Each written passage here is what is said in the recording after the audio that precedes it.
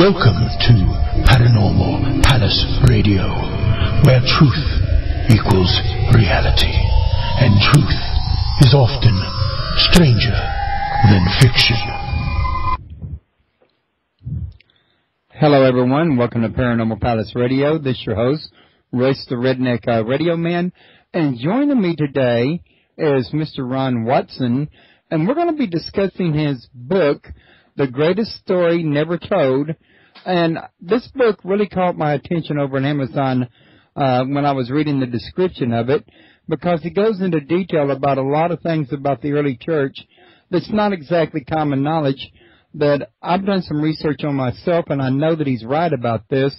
And it's stuff that it's a, what's a favorite topic of mine, and I always love to give anybody that knows something about this a chance to come out here and share. And I've also seen a YouTube video of the man, and it really impressed me. It was either YouTube or one of the other videos. I can't remember which because when I saw it, it was like a month or two ago when I first scheduled him. Uh, my show being scheduled two months in advance at the minimum right now for, uh, I can forget a video between now and then.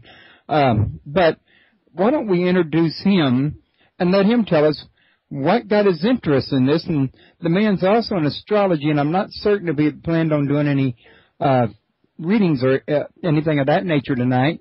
Uh, but if somebody calls in, you can always ask and see what he says. So, Ron, I want to thank you for coming to the show tonight. It's a real pleasure to meet you and have you here. Well, it's my pleasure to be there, and uh, I really thank you for inviting me.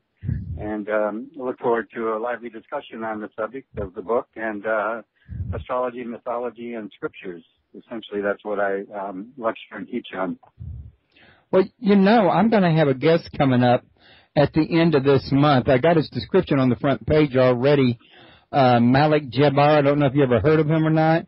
I'm not even sure if I'm pronouncing his name correctly.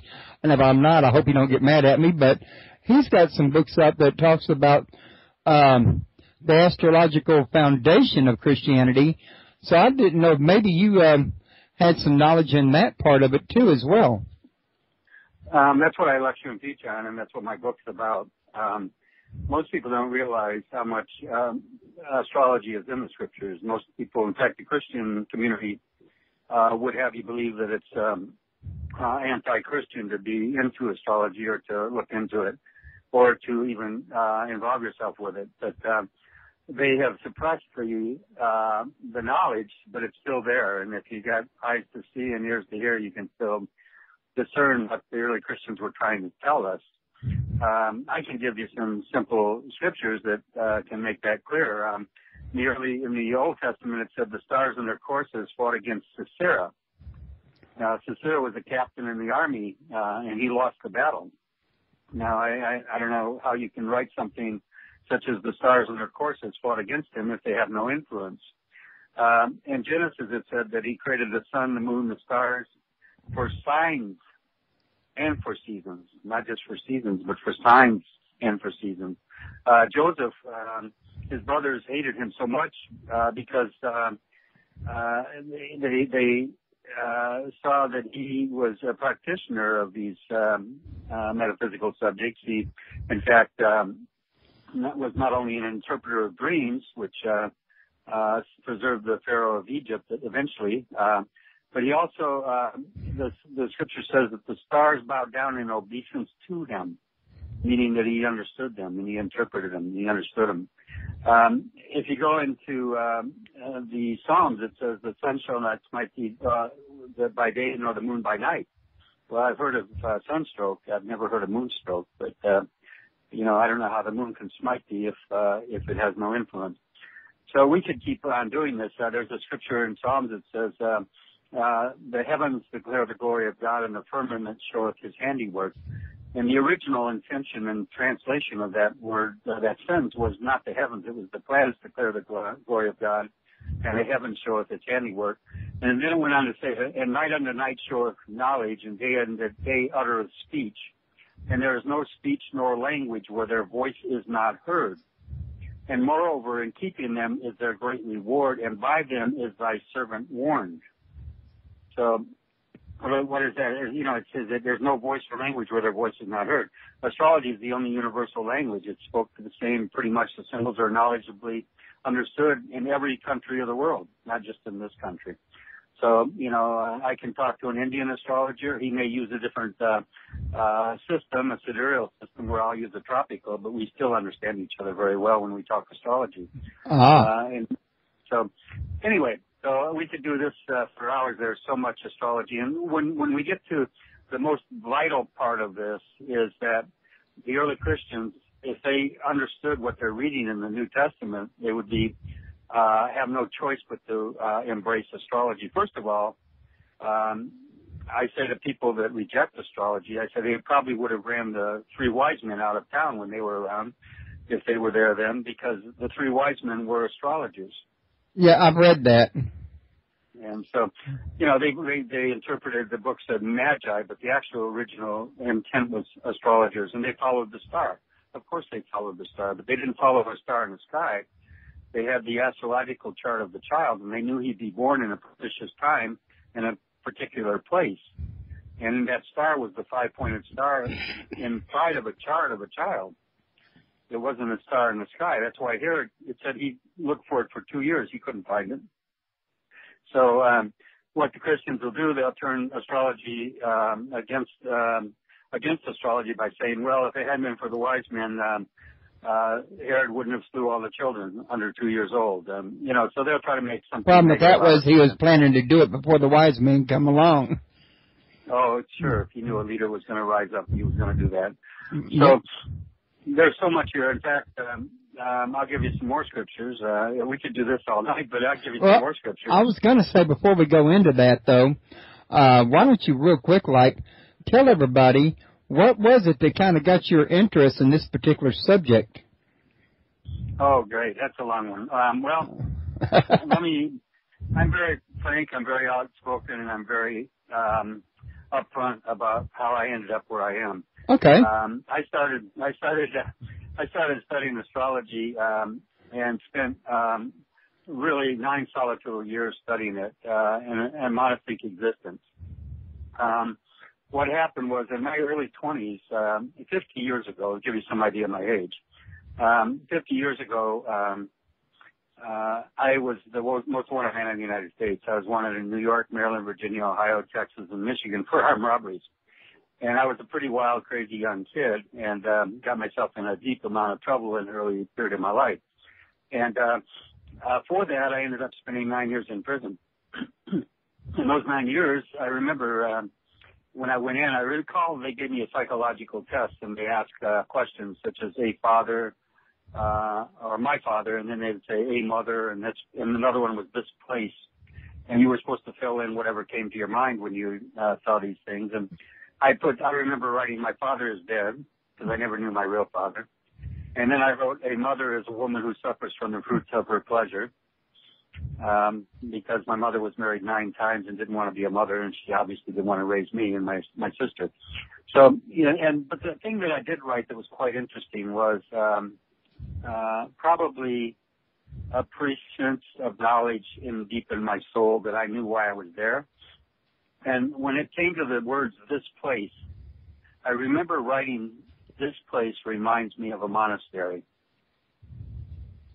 So I think in my deeper soul of my being, even though I had no religious concepts or thoughts of religion, I was pretty much a, I don't know, as agnostic or atheistic, it doesn't matter, but I, I surely didn't have a belief system that mounted anything.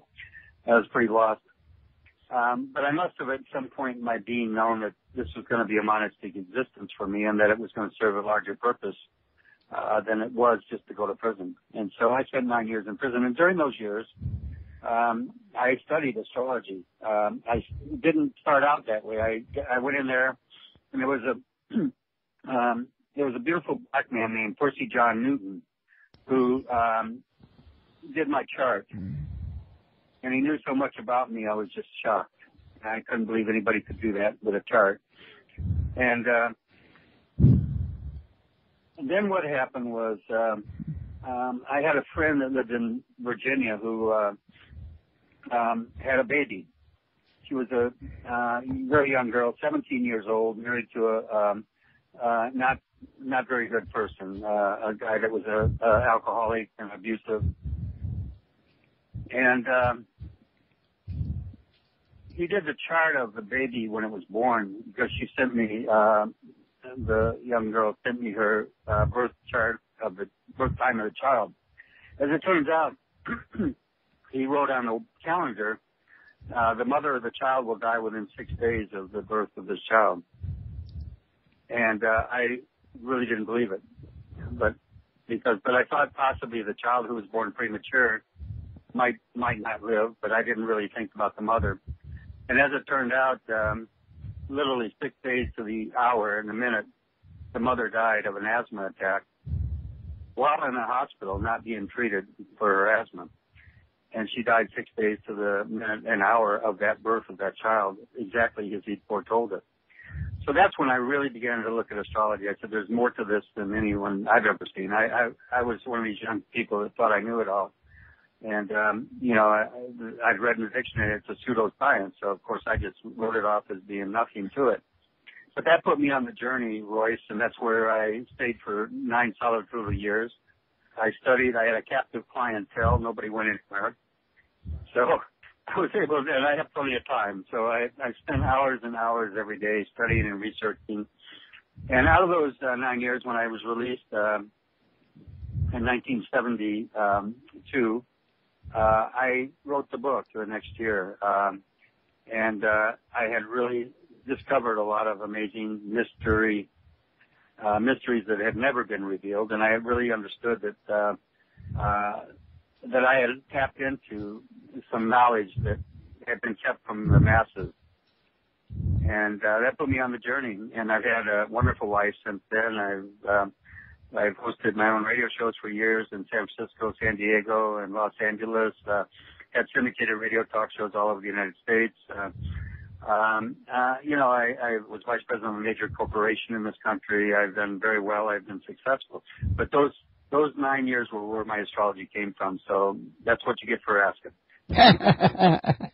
well, do you still do your radio shows though? You know, I don't now. Um, we moved to Florida two years ago, and uh, uh, we moved to yeah, we moved to Boston actually um, um, about nine years ago. We spent six years in Boston, then we moved here.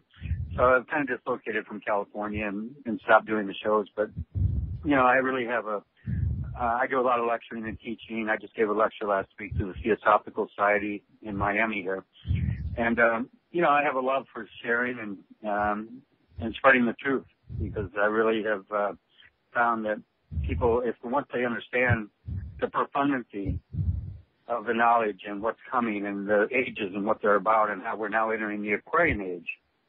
Uh, you know, people talk about this, but you know, the Aquarian age is the age of knowledge. Right. I remember That's spoken know, about in the Bible about uh, he'll pour out his spirit in those days. I think Amos said it, didn't he? Um, actually, um, in Matthew it says that. It says, uh, in the last days I'll pour out my spirit upon all flesh. I think it was in the Old Testament and the New Testament. That's what I thought. I thought I remembered. Yeah, it is. It is. Yes, you're right. Uh, Joel, I think you're right. Yeah. And the the thing is that I, I'll pour out my spirit upon all flesh, and your sons and daughters will prophesy. Your old, old men will dream dreams, and your young men will see visions. And upon my handmaidens too in those days I'll pour out my spirit, and they too shall prophesy. But the other part of that scripture that's overlooked very often is another scripture that says, in the last days, not only will I pour out my spirit, but it says, when the sign of the Son of Man appears in heaven. Which would be the sign of Aquarius. Exactly, the sign of the man. The only sign in the zodiac of a man is Aquarius. There's the Gemini, there's the twins, there's uh, my sign, uh, Sagittarius, which is half horse and half man. Uh, when it's not a half ass and half man, but anyway. So there's only really one sign of a man, and he's pouring out the Spirit, the living waters that Christ spoke of, and that's what um, the prophecy is about. That's interesting. And, you know, you know, when I wrote the book um, years ago, uh, I made many prophecies about these days and what's coming, and most of it's unfolding right now. Um, I made many prophecies about the economics and them that are born in this generation are going to be brought to want, which is happening as you see it around you right now uh, all around the world. The economy is collapsing. I said that the currencies would collapse around the world, and they are. Um, you know, and I've been some of these predictions. I remember my wife, who I've been married to 22 years. uh, who's from Moscow, and she used to say, "Oh, Ron, I, can't, I just don't believe that thing about you know the, America. It can't be. You know, America is a great country, and I don't see how it could, um, you know, be brought to its knees economically." And um, unfortunately, um, I I'm getting to a point where she's beginning to see it and uh, and see the reality of it. And but you know, there's so much here. I, I don't want to get long-winded on it, but uh, I mean, I'm very evangelical about it. I think that uh, the people have a right to know the truth. Um, I know that um, I do know that when I wrote my book, uh, I had even when I talked about in the, in the last days when we talked about knowledge shall be increased in those days. Who would have known who would have known the instant access to knowledge that everyone has today? I mean, if you look at this as Aquarius as I know is the key word. We've been in, I believe, for the last 2,000 years, which is the sign of Pisces, the belief age. And so we've had believe in the Lord Jesus Christ and thou shalt be saved. All things are possible in them that believe. You know, belief, belief, belief. It's all been for the last 2,000 years. Water baptism, which is Pisces, a water sign. Fish Friday, the sign of the fish, Pisces. Uh, um, the um, 12 disciples, the 12 sign Pisces, the uh, uh, fishers of men, which the disciples were called, that's all Piscean. Uh, uh, anyway, we could get into all that, but there, the thing is, Aquarius, who would have ever thought, even when I was writing my book in the 70s, uh, who would have thought that when it said knowledge shall be increased in those days, that anyone can get on a computer today and even on their little smartphone and access any kind of information instantly. Within a millisecond almost, they can find any kind of information about anything there is. They can find knowledge on any subject that exists.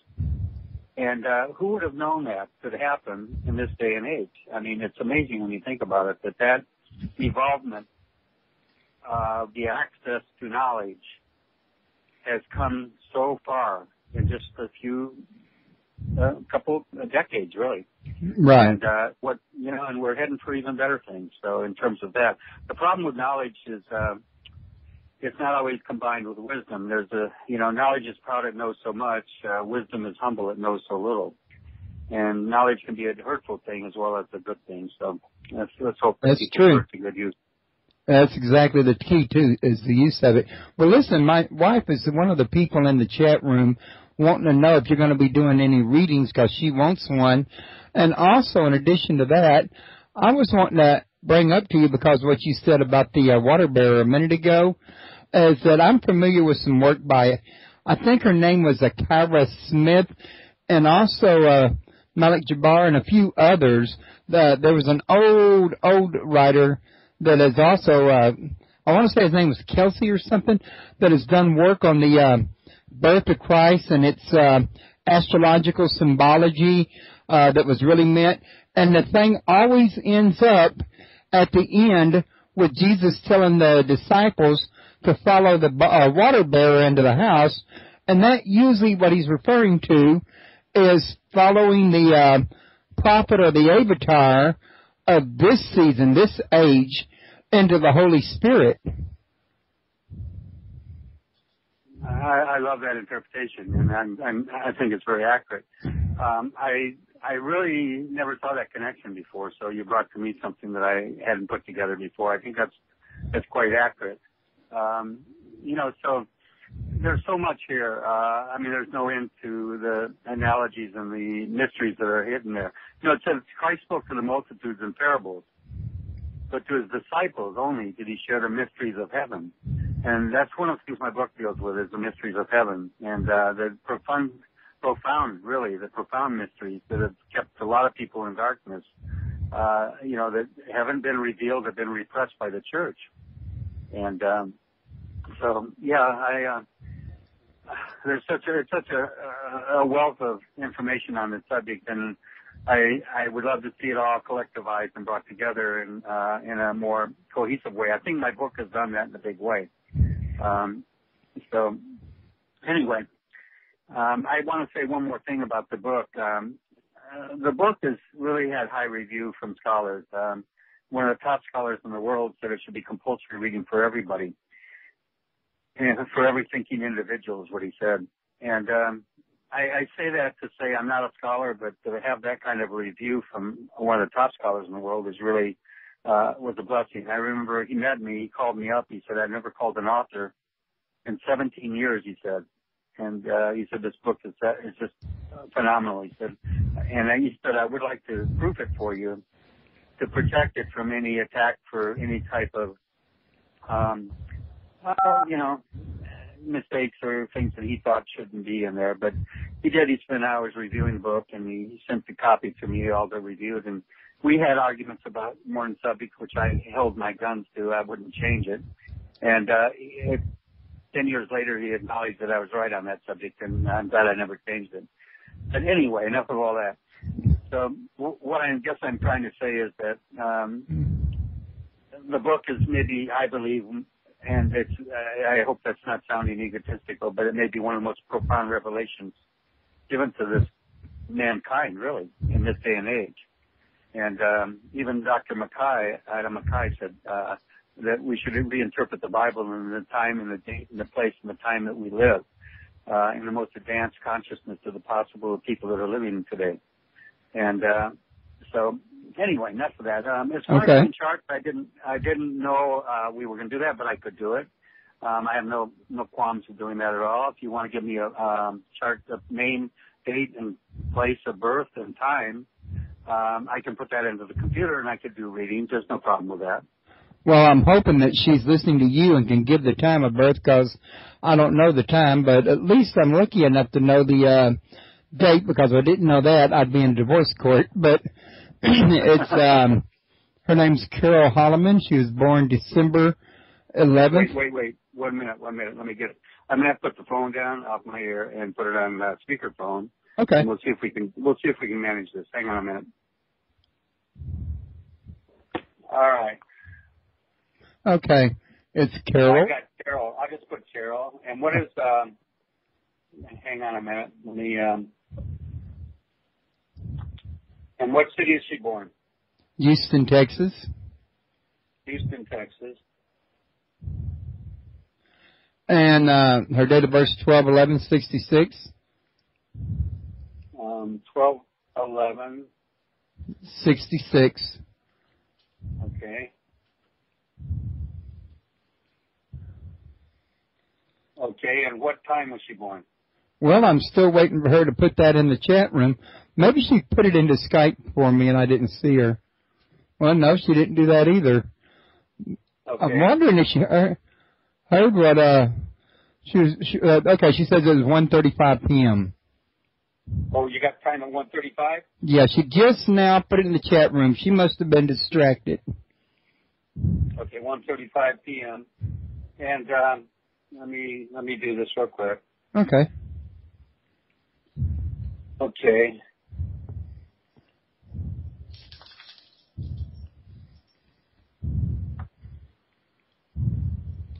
All right, I have her chart up. She has her moon and sun in Sagittarius in the ninth house. Uh, very strong emphasis on religion, philosophy, and higher understanding. Uh, ninth house is the house of those things, and Sagittarius is its natural ruler. Uh, so her soul and her spirit are, are really gravitating towards understanding uh, consciousness of God and uh, unity with all things. Uh, she also has Venus with her sun, which means she's a very loving person, very, uh, very loving spirit. Venus conjunct with the sun is just that. Uh, and it's also, because it's joined with the sun, it's also joined with the moon because the moon and sun are together. So that gives a, beautiful soul. Venus is beauty and the moon is soul. Um, she has, uh, let me look at it. Let's see, Pisces. She has an opposition between uh, Saturn and Pluto and Uranus in her chart, um, and that's squaring her Venus. Uh, it's a T cross, actually, uh, formed between Pluto, Uranus, uh, Sun, and um, and uh, Sun, Venus, Moon. So it's a T cross involving all those planets. There's two, three, four, five, six planets involved in the T cross. Uh, I would say from these positions, she's been divorced. She went through a lot of pain in relationships, a lot of disappointments. Um, she is, um, uh, forgive me for the expression, but Saturn in the 12th house says she's experienced being backstabbed. Uh, literally, physically, not physically, but figuratively, probably not physically, but she's had some very hard knocks in life uh, in regard to relationships. But probably the most the most significant thing in the chart is the cross that's involved with these planets. Um, she has Jupiter and Leo. Um, Jupiter and Leo in the fifth house. Uh, she may be blessed with a child, the first child. It looks like the first child would be uh, indicated by that. Uh, very powerfully uh, blessed, um, something to do with the first child, I feel. So I don't know if we're getting feedback from her, but uh, I'd like to kind of hear back. It's hard when I'm doing a chart and I can't talk with someone. Right. Uh, I'd like to get some feedback as to how right this is in terms of where we're at now. Um, well, I can tell you that uh, some of that's pretty doggone right. I mean, she has had a lot of pain in relationships, uh, you know, etc.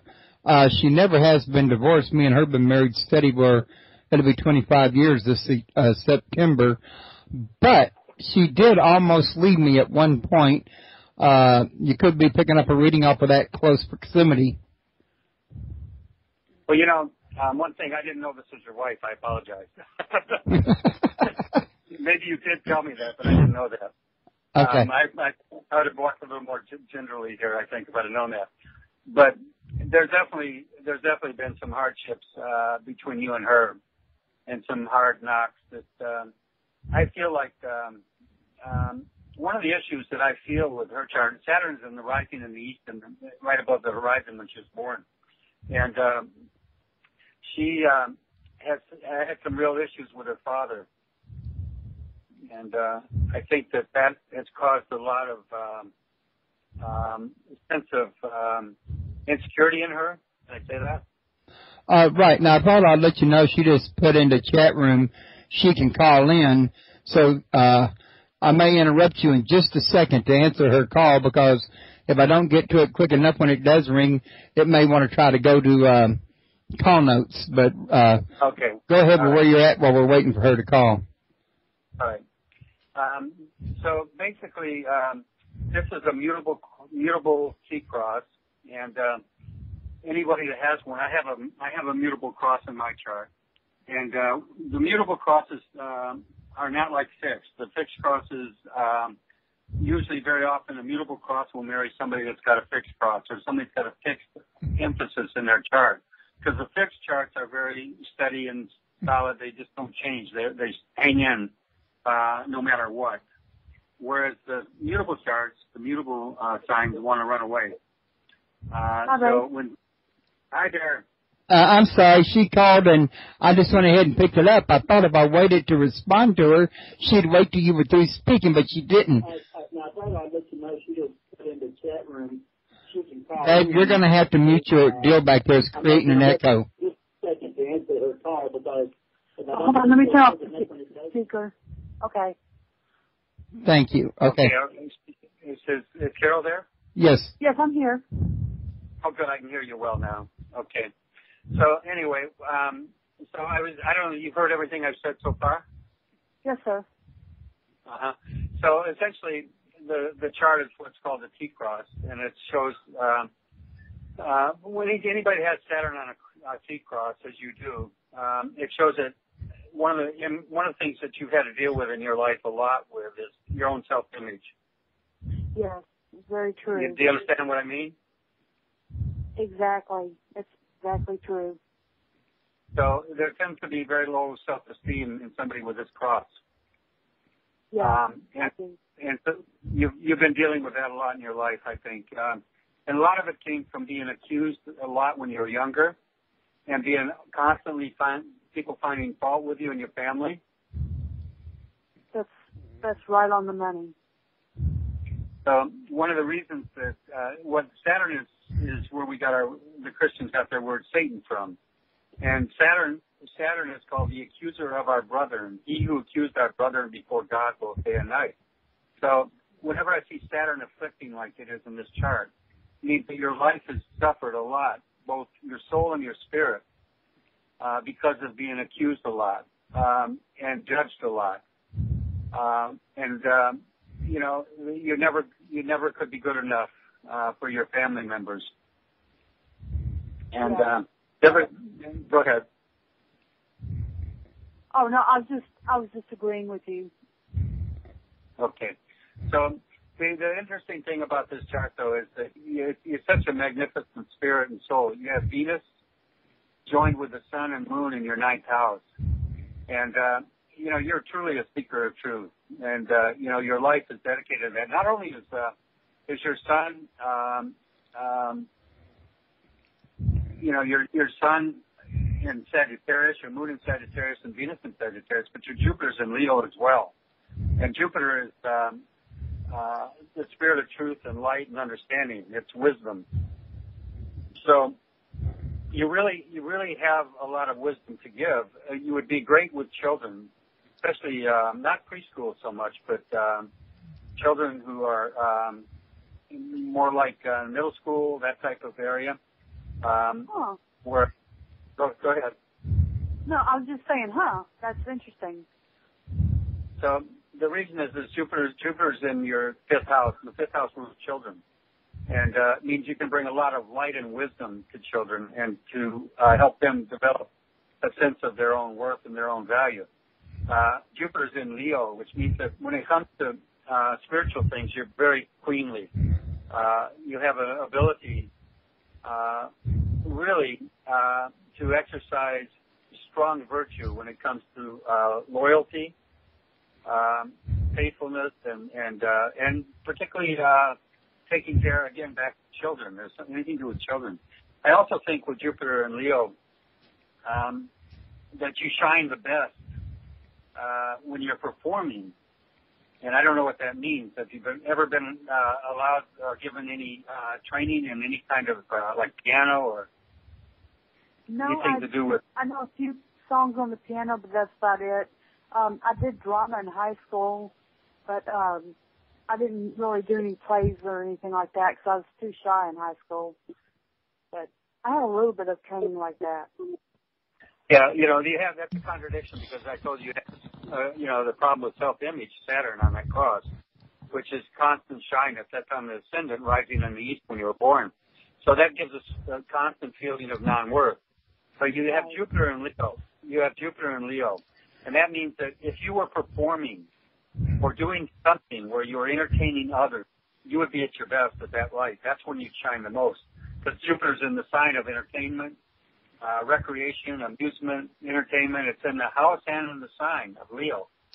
So, you know, whatever is involved, your life gets involved on that level, it'd be good. Now, one thing uh, I need to tell you, Carol, I haven't, um, I haven't got the time or the wherewithal to do all the work on this chart, whether it's the progressions and the transits and you know the the type of work that I'm going to do to give you a look at where you're at in your life right now and what's going on and what's coming.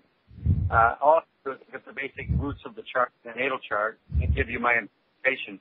And I hope this has been insightful on some level for you. It has, it really has. Thank you very much. Oh, you're sure welcome, and thank you for uh, volunteering. You're welcome. Bye, honey. All right. Bye, dear. bye. Bye. Well, okay, I hate to have spring this on you, uh, Ron, but while he, heard, while uh, Genocide was in the chat room, or James is his real name, heard you uh, giving that, he said, "I want one." Okay. So, what's his? Let me get set up to do this. okay. Um, if you want to talk while I do this, well, I need to get information from you. So let me just start with it uh, and do a new chart here real quick. Okay, so his name is James, and what is his? Uh, where was he born? Uh, Mooreland, Oklahoma. M O O R E L A N D, Oklahoma. Okay, and what is his birthday? Eleven four eighty one. Wait, I've got a, I've got a little challenge here. Hang on a minute. Okay. I got to find Mooreland to see if it's in here. Oh, I found it. Okay, it's got an E after that R. That's why I didn't find it right away. Oh, okay. I thought I mentioned it. If I didn't, I apologize. Yeah, you did. I just had typed M O O R instead of. Anyway, what is the birthday? Um, eleven four eighty one. Eleven four. Eighty one. Okay. And um, I think the other part you need is the uh, time of uh, birth, 8:45 a.m. What time? 8:45 a.m. Okay, 8:45. a.m. All right.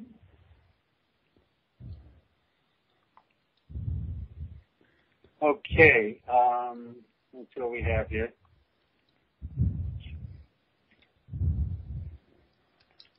Okay, I got the chart up. Um, he's got Sagittarius rising, one degree Sagittarius. He's got his moon in, um, in Scorpio. I mean, his sun in Scorpio, excuse me, at 12 degrees in the 12th house. And he's got the most elevated and powerful planets in his chart are Saturn and Mars.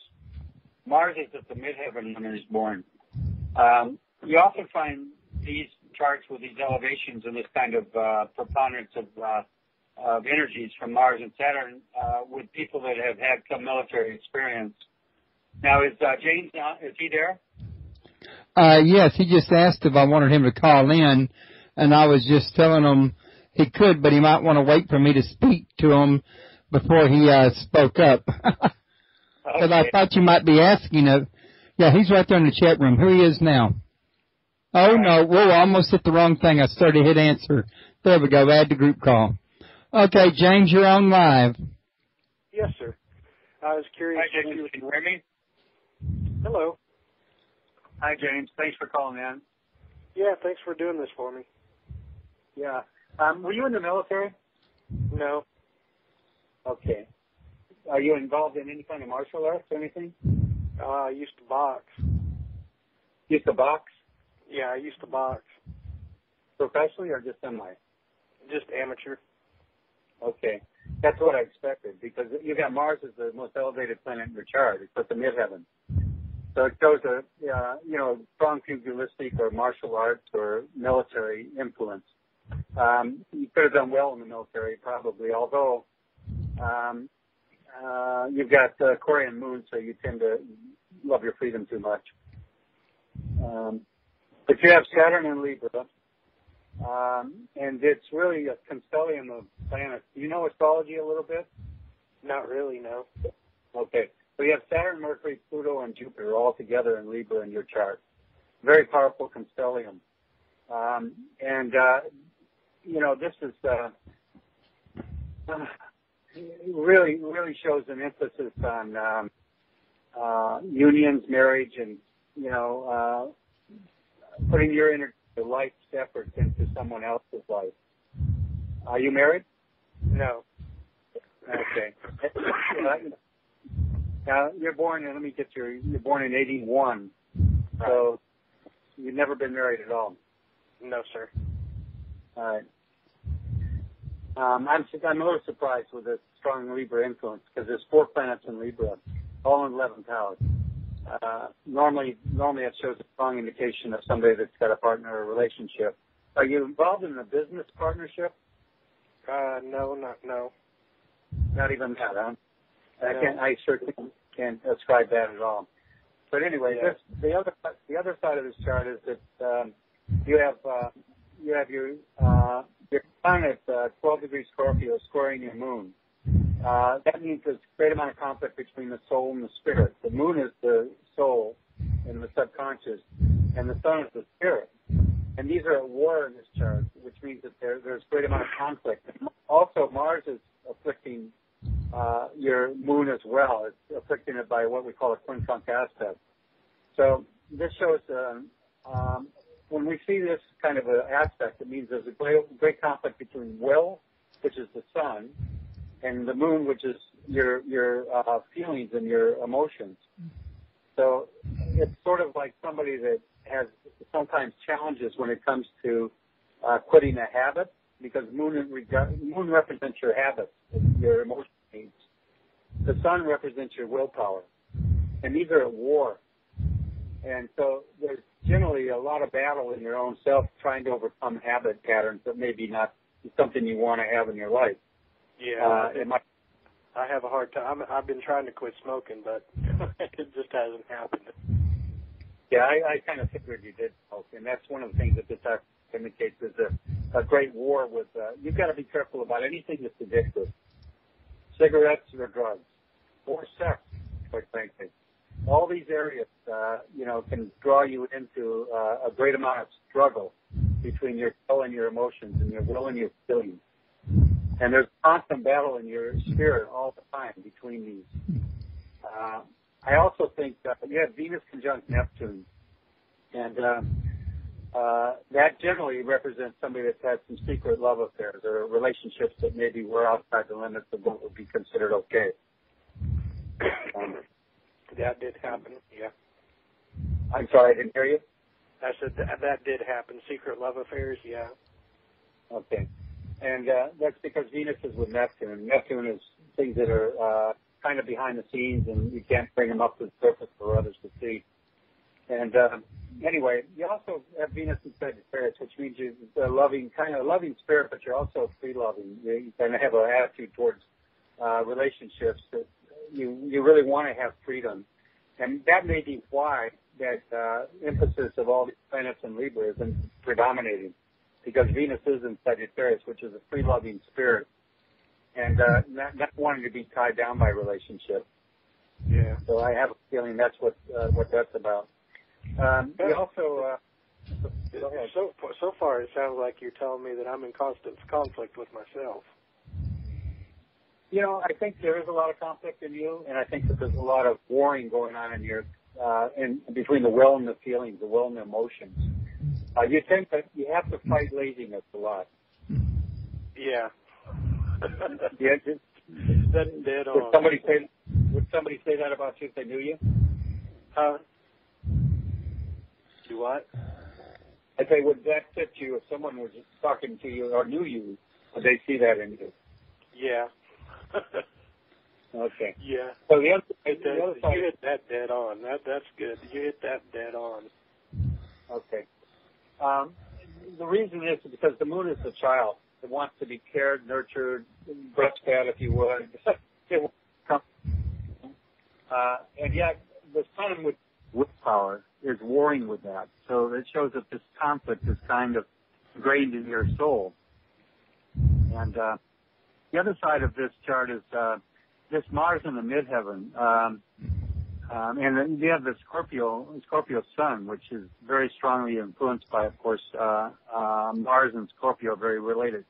So there's a very high sexual drive in you, very strong sexual drive. The the interesting thing is you probably uh, would do well to look at tantric yoga, um, understanding and learning how to utilize that energy, the Kundalini forces. Uh, I think that this would be a good direction for you to go in your life and get some, maybe some stabilization of that uh, drive and some direction for it that would give you a little bit better channel for it, if I can say that. Okay. Okay. Um, okay. So, do you have you ever considered doing yoga? Uh, I thought about it, but I just never tried it. Yeah, I would really highly recommend it for you because you. One of the things anybody has Mars in the midheaven, um, and it's afflicting the moon, means that if you if you don't get enough activity, uh, enough energy ex- expressed in doing something that's actively physical, you become very irritable and very hard to live with. Yeah, I, I, Um, that's true too. Ask Royce So- about that. Okay. So yeah, me and Royce have known each other for quite a while. Okay, so you guys know each other. So you need to be, you need to be, uh, you know, there's a, if you, I'm going to hit you a little bit hard here, but there's a, there's a bit of a bit, I'm, I'm going to hit you hard, okay? I'm going to hit you hard. There's a bit of immaturity about anger. You're dealing with things with anger sometimes it's very immature. Um, and the reason I say that is because don't get angry at me now. I'm not. Don't worry about it. I'm teasing you. I'm teasing you. But the reason I'm saying that is because um, uh, Mars and the Moon are afflicted. The Moon is the child in you, and Mars Mars being afflicting to the Moon means you you were hurt a lot as a child, Yeah. and that that that childhood pain gets surfaced real easy if someone pushes the wrong buttons with you.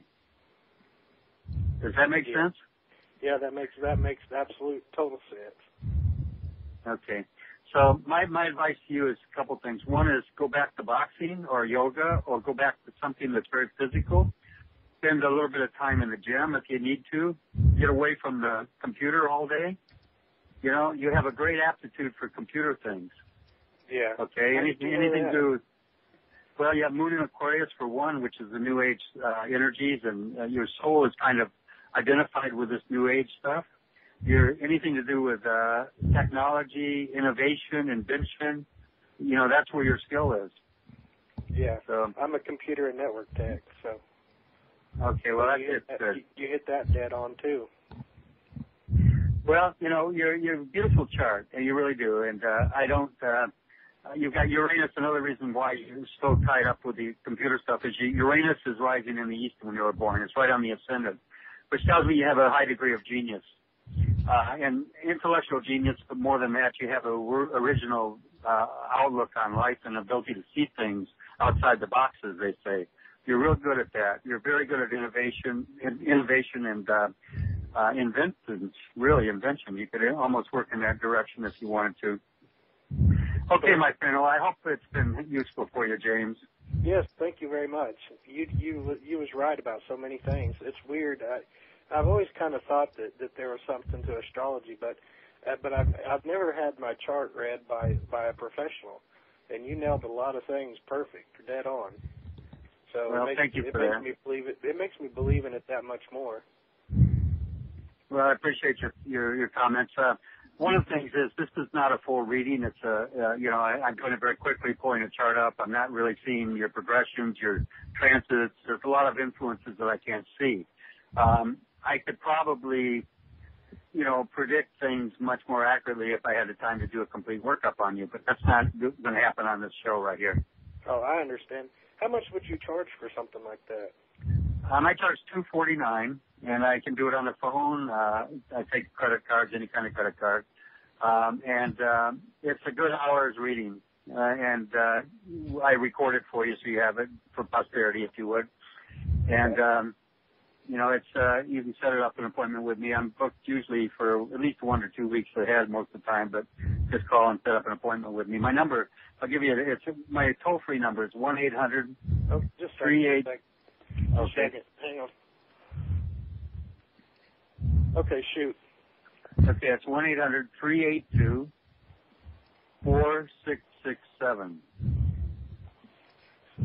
Okay, I got I got one eight hundred three three eight two four six six seven.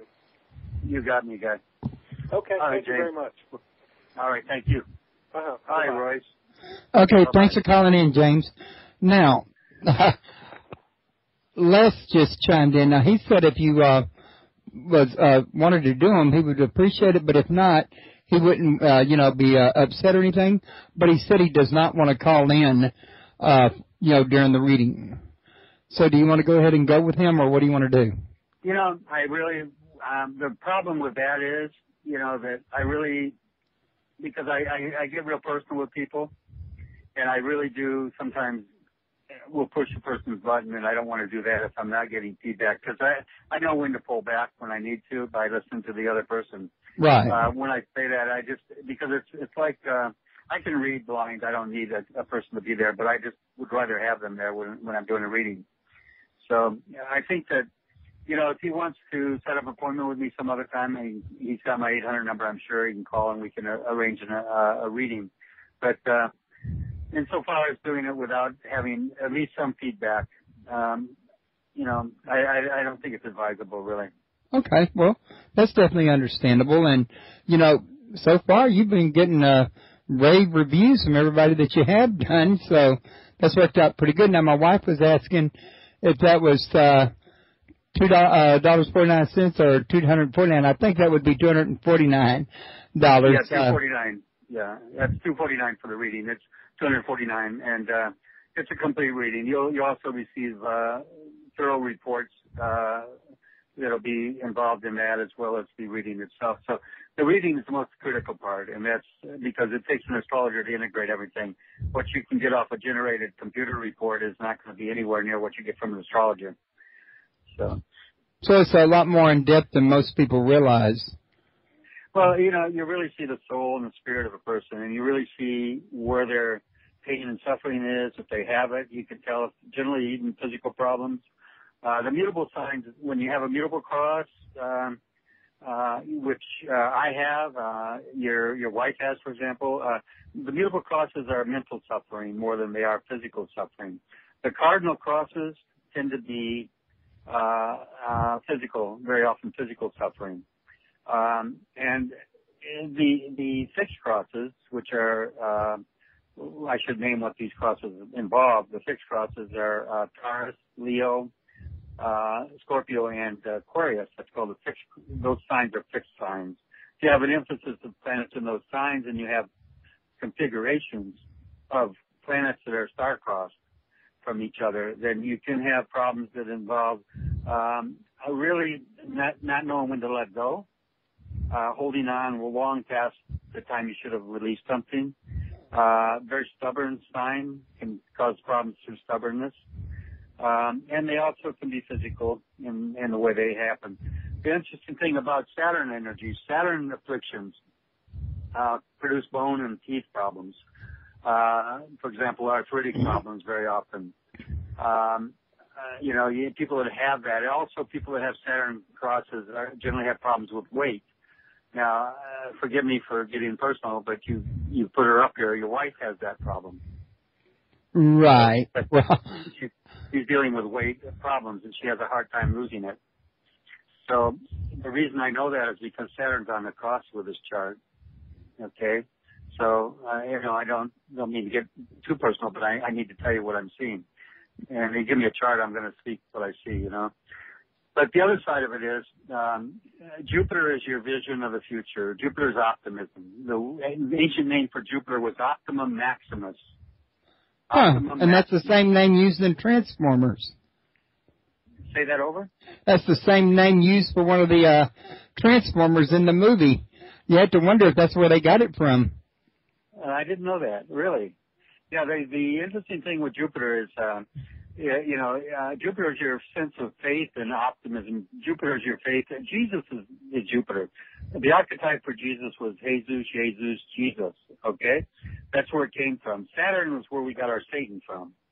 Satan, Saturn, the the the, the devil, all that. You know, he's called the accuser of our brother, and he who accused our brother before God both day and night. The interesting thing with uh, anybody's got Saturn on a cross, like your wife does. Uh, she's always dealing and has to deal with guilt and she needs to let go of that. She needs to be, you know, forgive herself and forgive others. Because anybody that's Saturn on a cross can be very, sometimes holding on to grudges and, and resentments towards people that have hurt her, uh, and for things that maybe you've done in the past, for example, uh, that she finds hard to let go of. Um, this is hard because you should never throw your wife's chart out here first. I didn't know it was her. But anyway, so. But that's okay because she's still in there chatting, so I, I guess she's not upset. okay. so anybody, anybody has Saturn on a chart uh, in affliction uh, has to deal with um, uh, guilt. You know, if you look at if you look at um, the early early Christian introduction of the whole process of the fall of Adam and Eve there's a real profound mystery hidden in that. Uh, uh, you know, it says they were in a place called paradise. The root, the paradise comes from two roots. Para means beyond, like parapsychology, and dice means to divide. So they were in a place that was beyond division, called paradise. Adam and Eve were, and uh, they ate of the fruit of the tree of the knowledge of what good and evil, and who who beguiled them or tempted them to do that, but the devil. The devil comes from the word, the root word diabolos. Right. Which is, okay, which has two meanings. Uh, it's di divide and abolos abolish, divide and destroy. The old military strategy, divide and destroy. Um, the etymologist uh, uh, will say it comes from two roots: dia, which is diameter, and bolos, which is to hurl across, ballistic, like bolos. So that it has, it basically that's the etymological interpretation of the word. But I give it two meanings, and the other one is divide, abolish, divide and abolish, divide and destroy. So who introduces this concept of duality to Adam and Eve, but Diablo, divide and destroy. So what happens is when they are confronted by God, the first process that happens is is that Adam says, "It's not my." Oh, first they beheld their nakedness and they were shamed. So shame implies something going on within their consciousness, and that is the the shame is guilt. It's self-directed guilt. So they they're all of a sudden now they're walking in guilt. So when when when God approaches them, Adam says to God, he says, "Well, it's not my fault. It's the woman now gave it to me. So it's your fault and it's hers that this happened." So we begin to see the process of called the scapegoating, finding someone else to blame. Scapegoating comes from the goat sign Capricorn, which is Saturn's sign, or Satan. So the next thing that happens is Eve's not going to take the blame. So what does she say? Well, it's not my fault. The woman, he said, the serpent beguiled me. So we see the beginning of the fall of man. Now there was no Adam, there was no apple tree, as people believe. Uh, Adam's apple is right here in your throat. It's it's a part of your vocal system that you, allows you to speak. And it was the Adam's apple, the misuse of the word, that caused the fall of man. So anyway, so. That was an interesting concept that I'd never made the connection before between Adam's apple and the uh, forbidden fruit. Well, I always think about it rather than as an apple as forbidden fruit, and that might be why I never, you know, made the con- uh, the connection before. Um, well, go ahead. No, go ahead. I'm uh, just gonna, you know, well, I was just gonna ask you, know, as a toying with the idea, you really raised my curiosity and got me interested because you were doing so good with James and my wife, and I did put her out there. In fairness, I was thinking I should put myself out there, but I don't want to put you out of your way. Would it be too much trouble for you to do one for me? No, I don't mind doing that. No, no. Um, let me get get the information here. Hang on, let me put the phone down. Okay.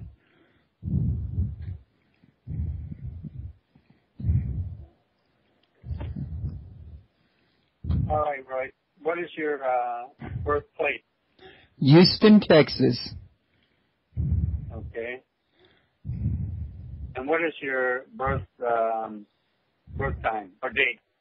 Okay, the birth date is August twelfth, 1959. And if I remember. Hang, on a minute. August 12th.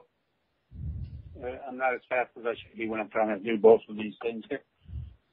What year, 19 what? Uh, 1959. Okay.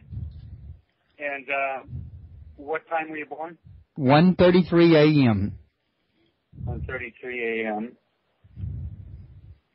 Okay.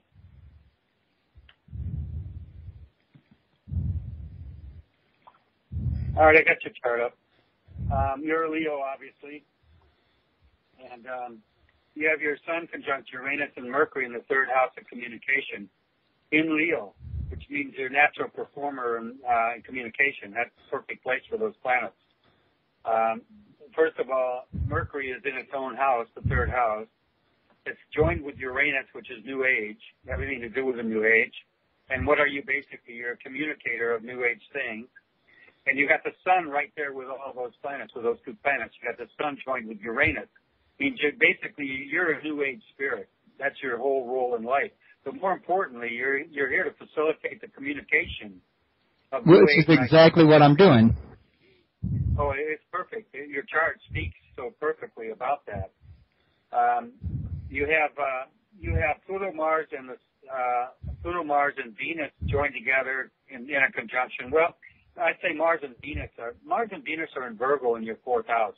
I one thing about Mars Venus conjunctions it's kind of hard to uh, a difficult sign conjunction to have because it, it's called a love hate complex, and that means that in relationships you you can be very difficult to live with because you tend to be you tend to be very affectionate at times, and then at other times once your affections have been fulfilled, uh, you tend to be very irritable. Um, I hope that's not uh, too personal. Oh no, that's fine. So, and I do get very irritable because I'm something of a perfectionist. but go ahead. Yeah. So what it is is a, what they call a love-hate complex. It's one that's very difficult because you've got both energies of Mars, which is uh, kind of aggression, very sexual. Then you have Venus there, which is a, affection. The other side of that is very often it's hard to distinguish for the mate sometimes the difference between, um, you know, affection and sex. In other words, you're, you're, you tend to mix the two up very easy, and that can be hard on the woman, uh, because she'll see it as maybe, you know, you, you, you think you're being affectionate because that's how you can satisfy your affection. But Mars means I'm, you know, I need you physically. And these are combined together in your chart. So, and it's also with Pluto. Pluto's real close to those. So it's very sexual energy. Um, the other side of this, you have your moon in Scorpio conjunct with Jupiter. Um, and I haven't even touched Saturn yet. Saturn's in your chart. It's in uh, zero Capricorn. It's the end of Sagittarius. And uh, that also, uh, well, let's, let's leave that one till next. We got Jupiter conjunct the moon. That's uh, uh, um, the moon and sun in your chart are doing the same thing I just talked to the other gentleman about. They're squaring each other. And if you remember, I talked about conflict between will and emotions and between will and habits. Right. Um, you also would be battling weight and is a major problem. Uh, moon, moon's in Scorpio conjunct Jupiter, and that means that your your your your comfort needs are very big. Jupiter's magnanimous; it's big, and so you know you love your comforts. You love your uh, you love the being nurtured and taken care of. Um, and this is in Scorpio again, so we're back to a lot of this is sexual. Yeah, very strong sexual energies. Um, the other side of that is that Saturn in your chart is in zero degrees of Capricorn. It's in its own sign, which means that you have very good uh, business sense, a very good sense of business and what uh, what can work. Uh, Capricorn sign is I use, and Saturn is the planet of structure. So you're very good to use the structures that are around you to create a business opportunity. Um, you probably have, uh, if, if I was looking for somebody to, go, to join into a business, I would look for you because you have that capacity to build a foundation and bring the right people together to get, because you're good at using, excuse me, and I don't mean this negatively because it's not meant that way, but you're good at using other people's talents and putting them to work for yourself. And that's not a bad thing. That's a good thing. Any good manager or any good boss is going to be, you know, thrilled to have that kind of a, uh, aptitude. So the other side of that, Saturn, and there's another reason why you're good at this, the business sense is strong, so strong, because Saturn is trine to Pluto, um, and it tends to bring in the Saturn kind of uh, Mars and Venus, even though it's a long orb. But because Pluto is so close to those planets, it tends to make for a strong trine energy, which is very positive energy. Um, uh, I feel that there's something involving. Uh, was there a death in your home in early life? Uh, when I was 11, my grandmother died, and I was the one that found her out in the uh, garden. That's what I'm seeing. Um, that's had a big impact on you because Mars, you know, see, Mars and Pluto are are sitting in your fourth house. They're together, and the fourth house is early childhood, and that's your home. And Pluto's death, and Mars means you you took a great blow from that, your psyche, um, and that was a, a very difficult thing for you to deal with at that age in your life. And you you repressed a lot of that, I think. But I'm thinking, I have a feeling that that there's a lot of stuff that you pushed down after that experience uh, that has been something in your inner self that's been a, a bit of a struggle, and it may have led you uh, into some of the things you're into now. Uh, you would tend to have a, uh, a strange energy and interest in uh, anything to do with uh, life and death. Does this mean anything to you? Uh, yeah, I do have a big interest in that, which is also part of the reason why you're on the show because a lot of what Christ was all about was life and life after death. Exactly, exactly. You know, Pluto in your chart is interesting. Pluto was called by Edgar Cayce, he calls it the planet of Christ consciousness. And somehow that early death in your family, in your home, had an impact on that in you. Um, and I don't know whether your grandmother was a religious person. Um, My whole family was a. My dad was a preacher. okay, that's what I'm seeing then. Because there's a lot of there's a lot of um, the home life shows a lot of Christ consciousness with Pluto there, um, and an emphasis and kind of a sometimes even a sternness because Mars is joined with that, kind of a sternness about it, uh, a severity sometimes maybe about uh, you know instilling into you the right belief systems. Um, so, but Venus is showing there too, so it's it's kind of a Venus and Mars are both in the same place, so you get both the affection, but you get the, stern taskmaster of Mars. But that's basically um, that's kind of a quick reading. The other the other reason why the death is so important and was so impacting on you, if you have your moon in Scorpio. I mean, your soul needs to understand death, and it's joined with Jupiter, which tells me that, by the way, you're a bit of a prophet about death. Um, you might be able to see people's uh, uh, passing ahead of time uh, because Jupiter is the prophet, and it's sitting with the moon, which is your soul in Scorpio, which is a sign of death, and resurrection as well. We tend to think of Scorpio as death, but it's also the planet, or the sign rather, the house, the sign, that represents uh, the resurrected spirit. So you very much, uh, you have a, you have a gift of prophecy, by the way. Uh, Jupiter with the moon. You should be the one interviewed sometimes on these shows. I have a feeling you could blow people away sometimes. Uh, well, the fascinating thing here about what you were saying is like when my aunt's, uh, my wife's aunt passed, uh, she, we were living in the house at the time with her, and uh, well, right before she died, within the last couple of days, I had told everybody it, that it wouldn't be much longer because you look in her eyes, it was like uh, the soul was missing. Wow. And two days later, she did pass away. So, you know, I hadn't, I didn't think about it at the time. I just thought it was something that most people would notice, in other words. Well, let me tell you why you did see that. You have Jupiter with the moon. The moon is, remember I talked about this earlier, the moon is the soul. The sun is the spirit.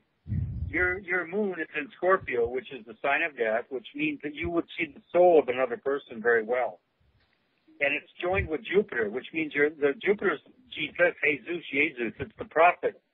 Jesus was a prophet. So Jupiter is the prophet, and it fits with your moon, which means you have the ability to feel and to see. Jupiter see, I see. The moon is I feel death coming. And it's another interesting thing to you is that I want to say to you. Do you remember I told you I saw death in your home? Do you remember I said that? I think so. Yeah. Yeah, in the beginning when we talked. Notice that you were in the home of the person again when they, when she died. Right. Kind of like a common thread in my life. yeah, twice now. Do you see that? Because the moon, you have your fourth house rules the home where you live, and you have Pluto, the planet of death, sitting right in there, joined with Mars, which means that this is two times you've experienced something that most people haven't probably ever experienced: the death of a loved one in your own home that you're living in. You see how accurate this is?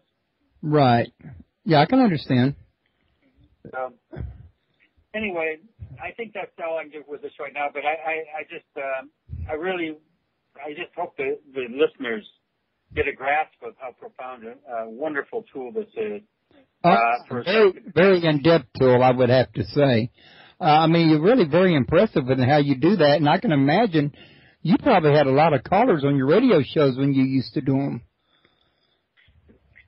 I, I really did. Yeah, we used to light up the phones and they were lit up all the time.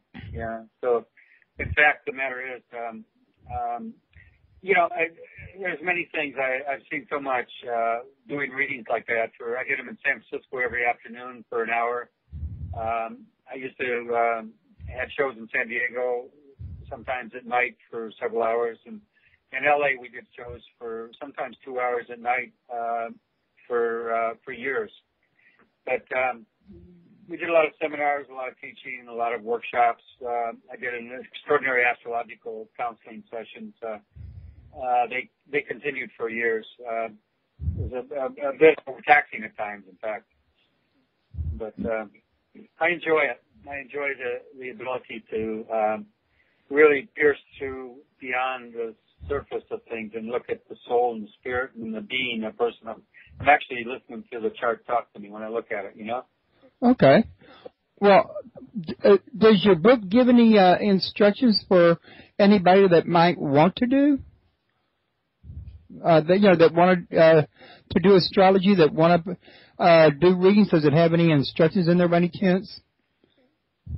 I'm kind of missing that. I think that let me let me turn it. Wait, hang on. I'm turning it off. Uh, Okay. take it off speakerphone. I'm here, but go ahead. Alrighty. Um, okay, now, um, in your book, was there any kind of like a, a miniature instruction manual of some sort for hopeful astrologers? Um, there's a chapter on this, uh, each of the sun signs. Uh, I initially didn't put that in it, but a professor friend of mine said, Ron, it's missing that. It should have it for somebody that doesn't have any familiarity with astrology. Um, the, the chapters in the book um, cover, uh, the first chapter is language of astrology. There's so much we use today we don't even realize is language that we speak is, is astrological. I mean, the word influenza, the disease influenza came from that influence of the stars. That's where it came from. Um, consider, the word consider, uh, comes from to be in harmony with the stars. Con to be together with, and sidereal, sidereal is the stars. Uh, so, um, you look at words like, um, oh my God, there's so much, uh, we could do this for hours, the different words that we use that are satirical, came from Saturn. What is satirical humor? It's, isn't it poking fun or making, uh, sometimes belittling other people with humor? So what is that again? It's accusing, Saturn, satirical, accusing others with humor. Satirical humor. It's like, uh, pictures of Nixon with a long swoopy nose, you know what I'm saying? Yeah. so, uh, and Nixon, by the way, is strong Capricorn, uh, and he was the spirit of accusing. You listen to some of his old tapes. People were amazed at this president of the United States, how foul his language was. He was constantly cursing. And he ended up, uh, he was one of the strongest accusers, accusing spirits in the history of this country. And he ended up, um, being driven out of office by the very same thing, accusations. But he was very, he was very paranoid and, um, uh, you know, that's the Saturn consciousness. He also had phlebitis, which, uh, could have killed him, which was a blood clot in his knee, in the area of his knees. And Capricorn rules your knees, and blood clotting is caused by Saturn. Saturn is coagula, causes coagulation and hardening. And Saturn is the, uh, you know, Saturn is where we got Santa Claus. Did you know that? Uh, no, but I'm not surprised because Santa and Satan are also, um, uh, phonetically linked. Oh yeah. Did you know that the word Santa, it's moved two letters around, it's Satan. Did you know that? Wait a minute, do I know Santa what? The word Santa, S-A-N-T-A, It's just a scrambling of the word Satan, S-A-T-A-N. Oh no, I didn't know that. Yeah, and see, Saturn, Saturn, Satan or Saturn, Santa Claus was really basically a parody of Santa, of Father Time, who is Saturn, who is the Father Time was called the devourer of all of his children. Okay, the devil is called what? A roaring lion who seeketh whom he might devour. So Santa Claus in the old days was was not a fat roly-poly guy like he is in the United States. In Europe, he was a skinny, emaciated-looking guy with a long white beard. He only got fat when he got to the United States. so, what are we dealing with? We're dealing with with Santa Claus, and Santa Claus was a parody of, of Satan or Saturn, or Saturn in your chart. Saturn, here's how it works: if the child behaved and was good, what did he get? He got gifts for his birth for Christmas. But if he was naughty, he got coal in his stocking. Well, Saturn, Saturn in astrology rules rocks, crystals, and minerals. So he's given what? He's given to the children his own symbol, rocks or coal, in their stockings if they've been naughty. And in your chart, it's the same way. Uh, Saturn, everybody's afraid of Saturn in their chart, but Saturn could be the deliverer of good things if you've been good. But it can be also the denier of good if you've been naughty. So anyway, so going back to Santa Claus, Santa Claus was the depiction of uh, Father Time, and he was the representative of um, the the old man of the sky, who was uh, the reaper, if you would. And that's what Saturn was. And if you look at, uh, uh, there's so much here. Uh, if you look at December the birth of the sun, the birth of the uh, Christ. We have celebrated on December 25th. If you draw a chart for any year on December 25th at midnight, when we celebrate Christmas, you'll see that the sun, as it rises in the east, is in the sun. It's, I mean, not rising in the east at, at midnight, rather, when it's uh, Christmas. The rising sign is Virgo, the Virgin. So he's born of the Virgo. The sun is born on December 24th. Now he stays three days and three nights. The sun does in hell in Capricorn from the 21st to the 25th, midnight of the 24th. And then on the 25th, he, the sun literally begins to rise again and starts to move back to the northern hemisphere. Having spent three days and three nights in hell, which is Capricorn sign, or Saturn sign, Capricorn. And, um, he's born in the stable. What is that? That's Sagittarius and Capricorn, the horses and the, and the goats, which is a sign of those two signs. He's born in that moment. And, uh, oh, there's so much to the story. So, um, you know, every year we celebrate the, the astrological birth of the sun, which is the birth of uh, the Son of God, which in the ancient days was understood to be. So. Okay. Pardon me. Got a little frog in my uh, throat there. you know, ever since I was a young kid, come this time of night, I start getting hoarse and coughing for some reason. Okay, well, do you want to call it a night for tonight? And uh, Uh, no, I was going to say, um, I just put you on mute real quick so I could cough real quick and, you know, get up that little wad there. But, um, yeah, I was going to say getting back to your book because one of the things I haven't done yet was tell everybody about your website, www. Uh, dot mygiftforyou, and that's the number four, uh, dot com. And he's got a blog there, and he keeps it pu- uh, up to date with all his latest things he's got going on. You can also click on the, his book link below his um, description there to get the book at Amazon. And you got, I think you also got it linked it uh, from your site too, don't you? yeah, you can order it either through our 800 number here, and we can ship it out to you, or you can order it on Amazon, which might be easier, and also Kindle. If you have a Kindle, you can order it on Kindle. Um, it's called uh, The Greatest Story Never Told, and it's by Ron Watson, of course. And uh, I guarantee you, if you read the book from cover to cover, it'll open your eyes to a great amount of truth and knowledge and wisdom. And uh, the important thing with astrology is, I, I, it's so important people understand something. You know, um, the purpose in my mind of what astrology is really about, and I, I don't think it's changed in 2,000 years. The purpose of the astrologers, the Magi, was to find was to what lead us to the cradle of Christ. And I really, I believe that. I teach that. I think the purpose of astrology is to lead us to the cradle of divine realization, to to recognize the God within us and to begin to see who we really are.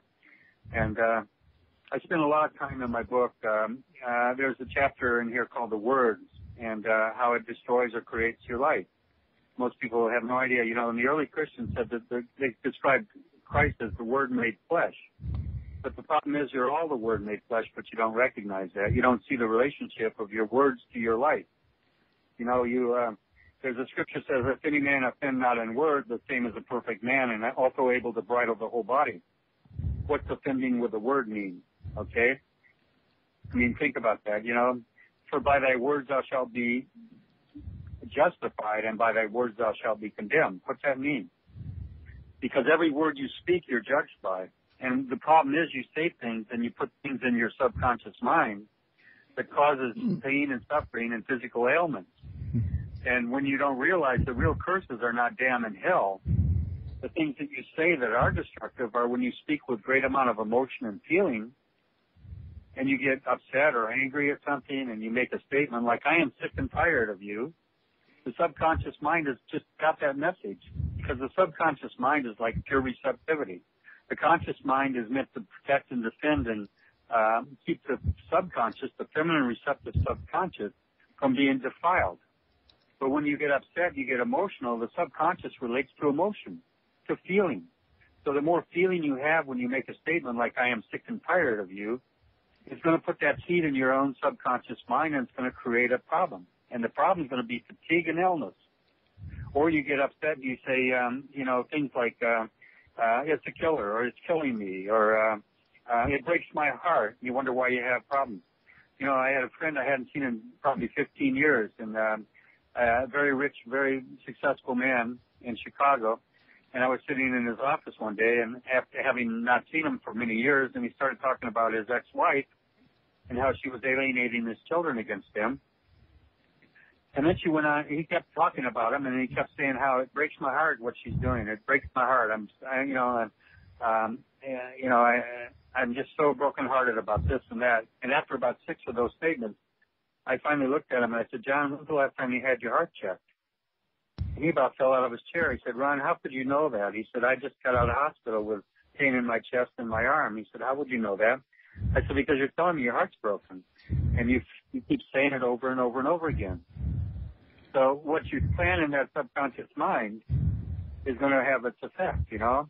It nauseates me. You want stomach problems, you know? I know a guy that had two thirds of his stomach removed and his favorite expression is, I have no stomach for it but he doesn't see the relationship between his words and the reality of his physical condition.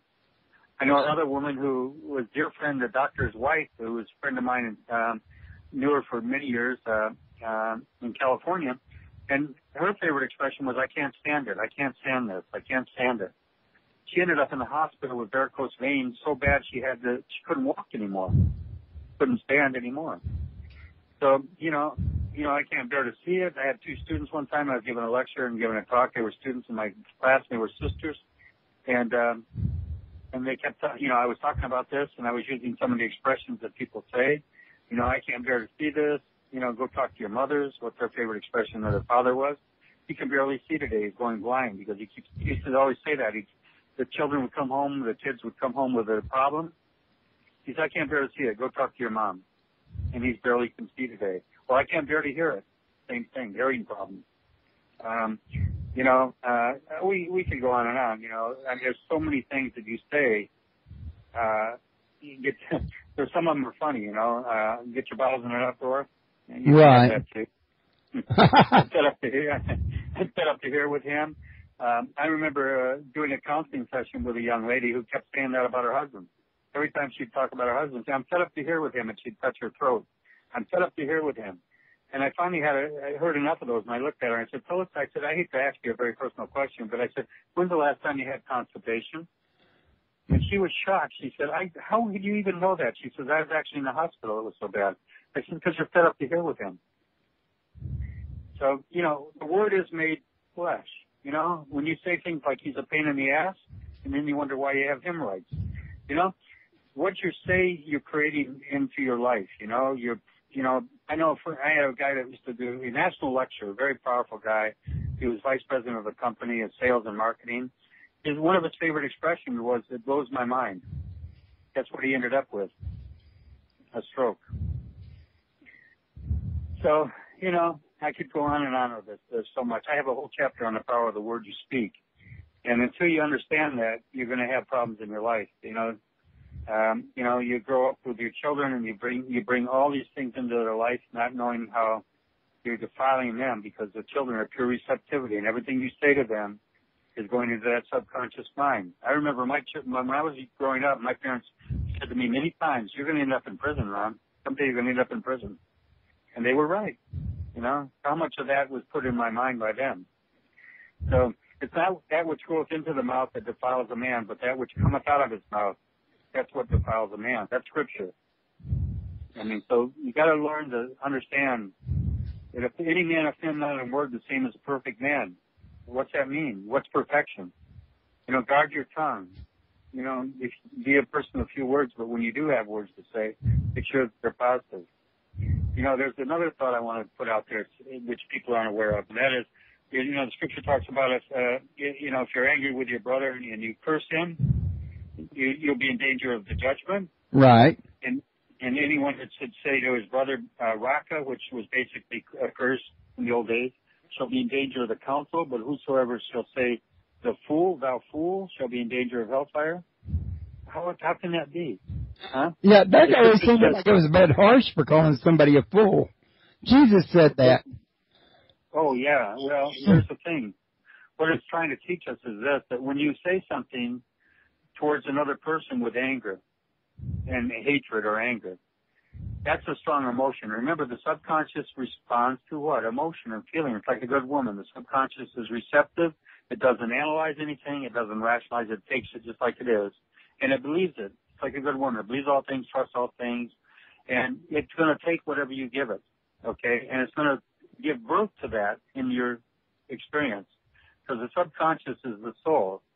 You know, the soul and the spirit were understood by the early Christians.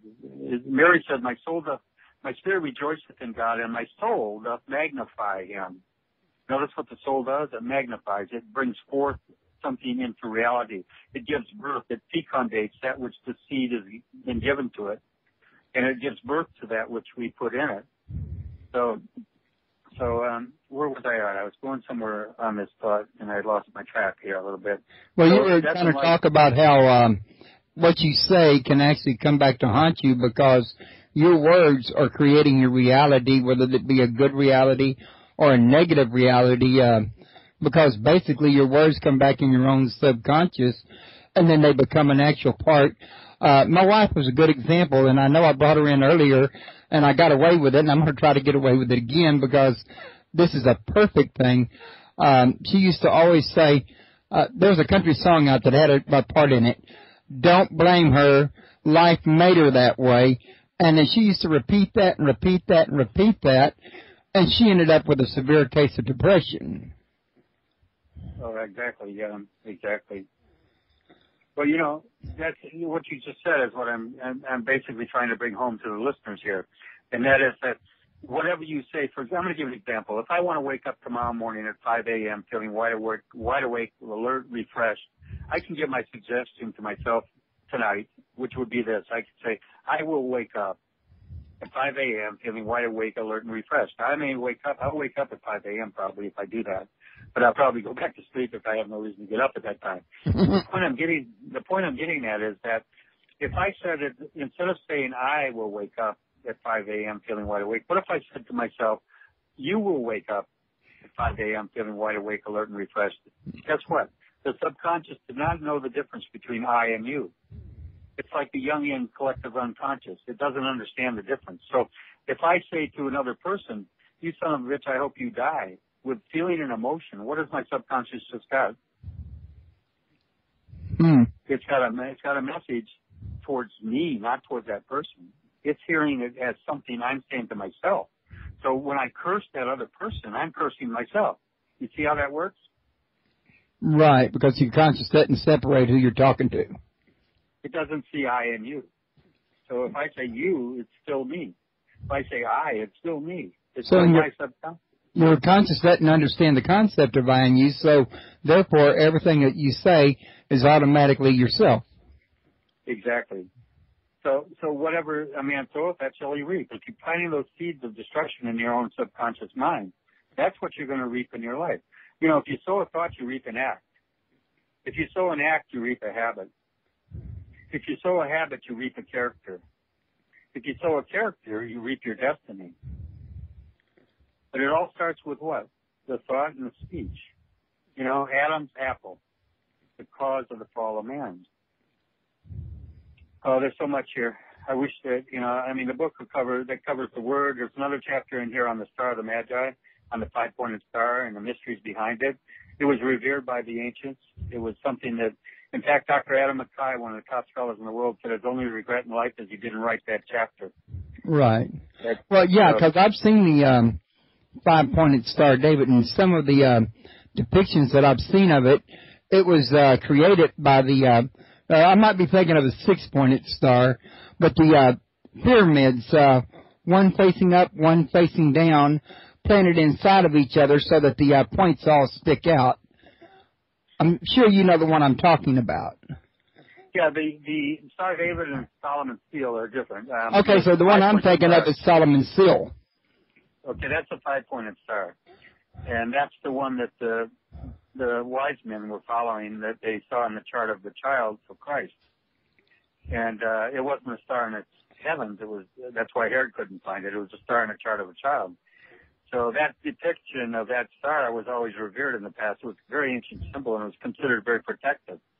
The cross, if you wear a cross, you're basically uh, setting yourself up for suffering. The cross was a symbol of suffering. The star, the five-pointed star was considered a star of the resurrected Christ. And if you looked at Da Vinci's Divine Man, that's what that was depicting, the divine man who is who. Okay? Every 2,140 years there's a new prophet. Each prophet ushers in a new age. If you look at the Taurean age was the age of the bull or the calf, the golden calf. And that was the age that Moses ended. He said, I'm, he no longer worship the golden calf. Now it's about what? The blood of the lamb. Put it on your doorpost and your firstborn will be saved because the sign of Taurus was ending, the age of Aries was beginning. And Aries is the sign of the Lamb, the Lamb of God, the blood of the Lamb. So he ushered in. He, you know, he came back down out of the out of the mountains with the Ten Commandments, and what does he see? People got built another golden calf because it's a stubborn, tenacious time. He called the people. He called them a stiff-necked people. That's Taurus, stiff-necked people. So he's calling them a stiff-necked people and he's rebuking them because they go back to the old method of, of worship. So the next thing we have is the Aries age, and we have the slaughtering of lambs for 2,000 years until Christ comes. Christ was the prophet that ended the Arian age and brought in the Piscean era. What did Christ say? No longer worship the golden calf. No, excuse me. He says, no longer you slaughter any lambs. I'm the last sacrifice to end all sacrifices, he said. So Christ ushered in the Piscean age, made 12 disciples, fishers of men, water baptism. Uh, his name in Greek was Ichthus, meant fish. So we get all these symbols. He introduces 2,000 years of belief. Remember when Moses spoke to the burning bush and he was trying to end the Taurean age, what is he told? Did you tell him that I am, that I am sent you, the God of your fathers, the God of Abraham, is I am that I am. So he was given the key words of the new age, which is Aries, I am. Every age has got a new, a new meaning. Now we're coming into the age of what? I know. The age of knowledge. The time to wake up and know. You know, the word know is amazing. K-N-O-W has within it the word now. And a good student and a poor student is distinguished by only one thing. The good student can be here now. He's not thinking about the past. He's not worrying about the future. He's not daydreaming about another time. He's in the present. And that's where knowledge and all good things come from, right here in the present. To be in the presence of God is to be totally in the present moment where you are. Be here now, like the old books in the 60s, you know? Be here now. So what are we dealing with? We're dealing with the ability to learn and know. And that comes from being in the moment, being in the now. Oh my gosh, you got me going here, guy. no, that's quite all right. You're really very interesting. What are some of the other topics that you cover in your book? Um, there's a whole chapter on uh, light, uh, which is on eye dilation. You know, it, it, the scripture says if that eye be single, the whole body would be full of light. It's referring to the singleness of a dilated eye. If your eye was totally dilated, it'd be no double ring. It'd be just one single ring. So when it talks about that, it says, you know, if an eye be single, the whole body would be full of light. It's referring to the eye, the eyes themselves. What causes the eyes to dilate? The good book says what? It says, what sort of things are pure, just, good, lovely? If there be any virtue, any praise, think on these things. It's telling you to do what? Dwell on good. Why? Because God is good. Okay? So what does that mean? So if you're dwelling on good, your eyes are going to stay dilated. If you're dwelling on opposite of good, if you're looking and seeing out here hatred and looking out here and seeing everything, everything's wrong, your eyes will constrict. You know, um, Saturn is constriction, Jupiter is expansion. Back to that again, okay? You have a Jupiter conjunct moon means you're very, very wide open soul. Your, your, your eyes are, I'd love to see your eyes. They, they gotta be open. Uh, Jupiter, your soul is very much expanded. That's why Jupiter's there with your moon.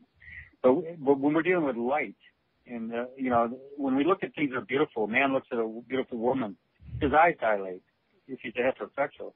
So when we look at that thing which is lovely, pure, just, when we keep our eyes and our mind concentrated on these things, our eyes dilate. They don't close down. Okay? So if there be any virtue, if there be any praise, think on these things. You know, the, the mystery of the scriptures is this here's the deepest mystery I can give your listeners. I can spend all day talking about mysteries, but there's only one profound mystery that'll change people's lives. And that's understanding the power of praise and thanksgiving. Because it, within that contains all the mysteries you need to know.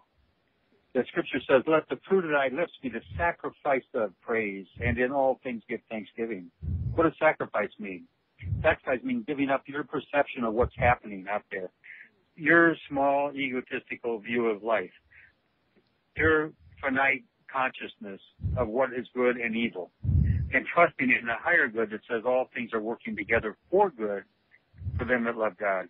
When you get on that level, then you begin to see miracles happen in your life. But you can't manifest those miracles unless you know how to praise and give thanks. The scripture said, people say to me, I remember I had a student one day come up to me and said, Ron, you've changed my life. You've changed my life. I read your book and it changed my life. I said, really? What changed your life? He said, well, you know, he said, I know what God's will is for my life. I said, really? I said, uh, you got that from my book? And he said, yes. It shows you how you read things and don't really see what you're reading. Even I do the same. And he showed me the scripture that I had written in the book, which says this, that says, um, uh, rejoice evermore. Now you try to be joyful all the time. I mean, that would be a challenge. If Royce, you be, you be, be joyful all the time. No, don't anything, let anything get in your way of being joyful. That's your, your chore. The second thing it says is pray without ceasing. The word pray came from the word praise.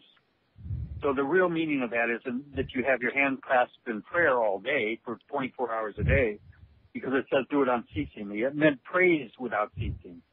And then the next thing it says, and in all things give thanks, for this is the will of God concerning you. So what is His will for us? It's simple. People say, if I knew what God's will was, I'd do it. I say, good. Here it is. You rejoice evermore. Be joyful all the time. Praise without ceasing. And in all things give thanks. That's what he says of us. So why does it say, let the fruit of thy lips be the sacrifice of praise? And in all things give thanksgiving. That's another scripture. Because you're not going to be able to do it from your finite understanding of things. I had a dog run out in front of a car going 50 miles an hour and got splattered. He got thrown about 50 feet. And I remember running over to that dog and seeing my dog that I loved so dearly, beautiful St. Bernard Shepherd, beautiful animal, lying on the cement, bleeding from his nose. And I started cursing, which is a human response. And when I heard myself cursing, I realized I was doing the wrong thing. I'm told that the fruit of my lips should be the sacrifice of praise, and in all things, I'm told that all things work together for good for them that love God. Not some things, but everything does. So I had to bring myself up and stop for a moment. And this man stopped his car. He came back. He felt real bad. He hit the car, hit the dog. It wasn't his fault. And he felt very bad. And he sat next to me, and all of a sudden, I realized I had to change my approach and my response to this action. And I just said, "Praise the Lord, thank you." Before I said the words "Praise the Lord, thank you," I remember thinking to myself, trying to rationalize why or how it could be good. And I remember thinking, well, maybe I'm being preserved from some future evil. Maybe that's what's going on here. Maybe there's something I don't see in the future that this dog would have attacked a child or done something awful. And anyway, but I try to rationalize my irrational behavior, which is what? Praising and giving thanks for this terrible thing. But I did it anyway, because he says, let it, the sacrifice, the fruit of your lips be the sacrifice of praise. I had to give up my perception of this totally. And I started praising and giving thanks, and guess what happens? The dog jumps up off the cement and starts running. And he runs behind a house and he gets caught in a fenced-in yard and I get a leash on him. I caught up with him, put a leash on him. He drags me home in a full run. Before we got home, he wasn't even limping. And I'll tell you one more thing. That dog would never get hit by a car again. He was the smartest dog about cars that ever walked this earth. I'm glad to hear that because I had a cat that wasn't that smart once. I mean, one one day we went out there, cranked our car, and bloop bloop bloop. It was in the fan blade, got cut up pretty bad. Next day we went out there, cranked the car, bloop bloop bloop, and it died the second time. And I never oh, figured out why did that cat go back the very next day. Well, you know, it's not for us to know all those things. It really isn't. It's not a, about us knowing. It's about just trusting and having faith in what we're told. You know, Paul and mm. Silas were beat, falsely accused, and cast into prison, as Scripture says.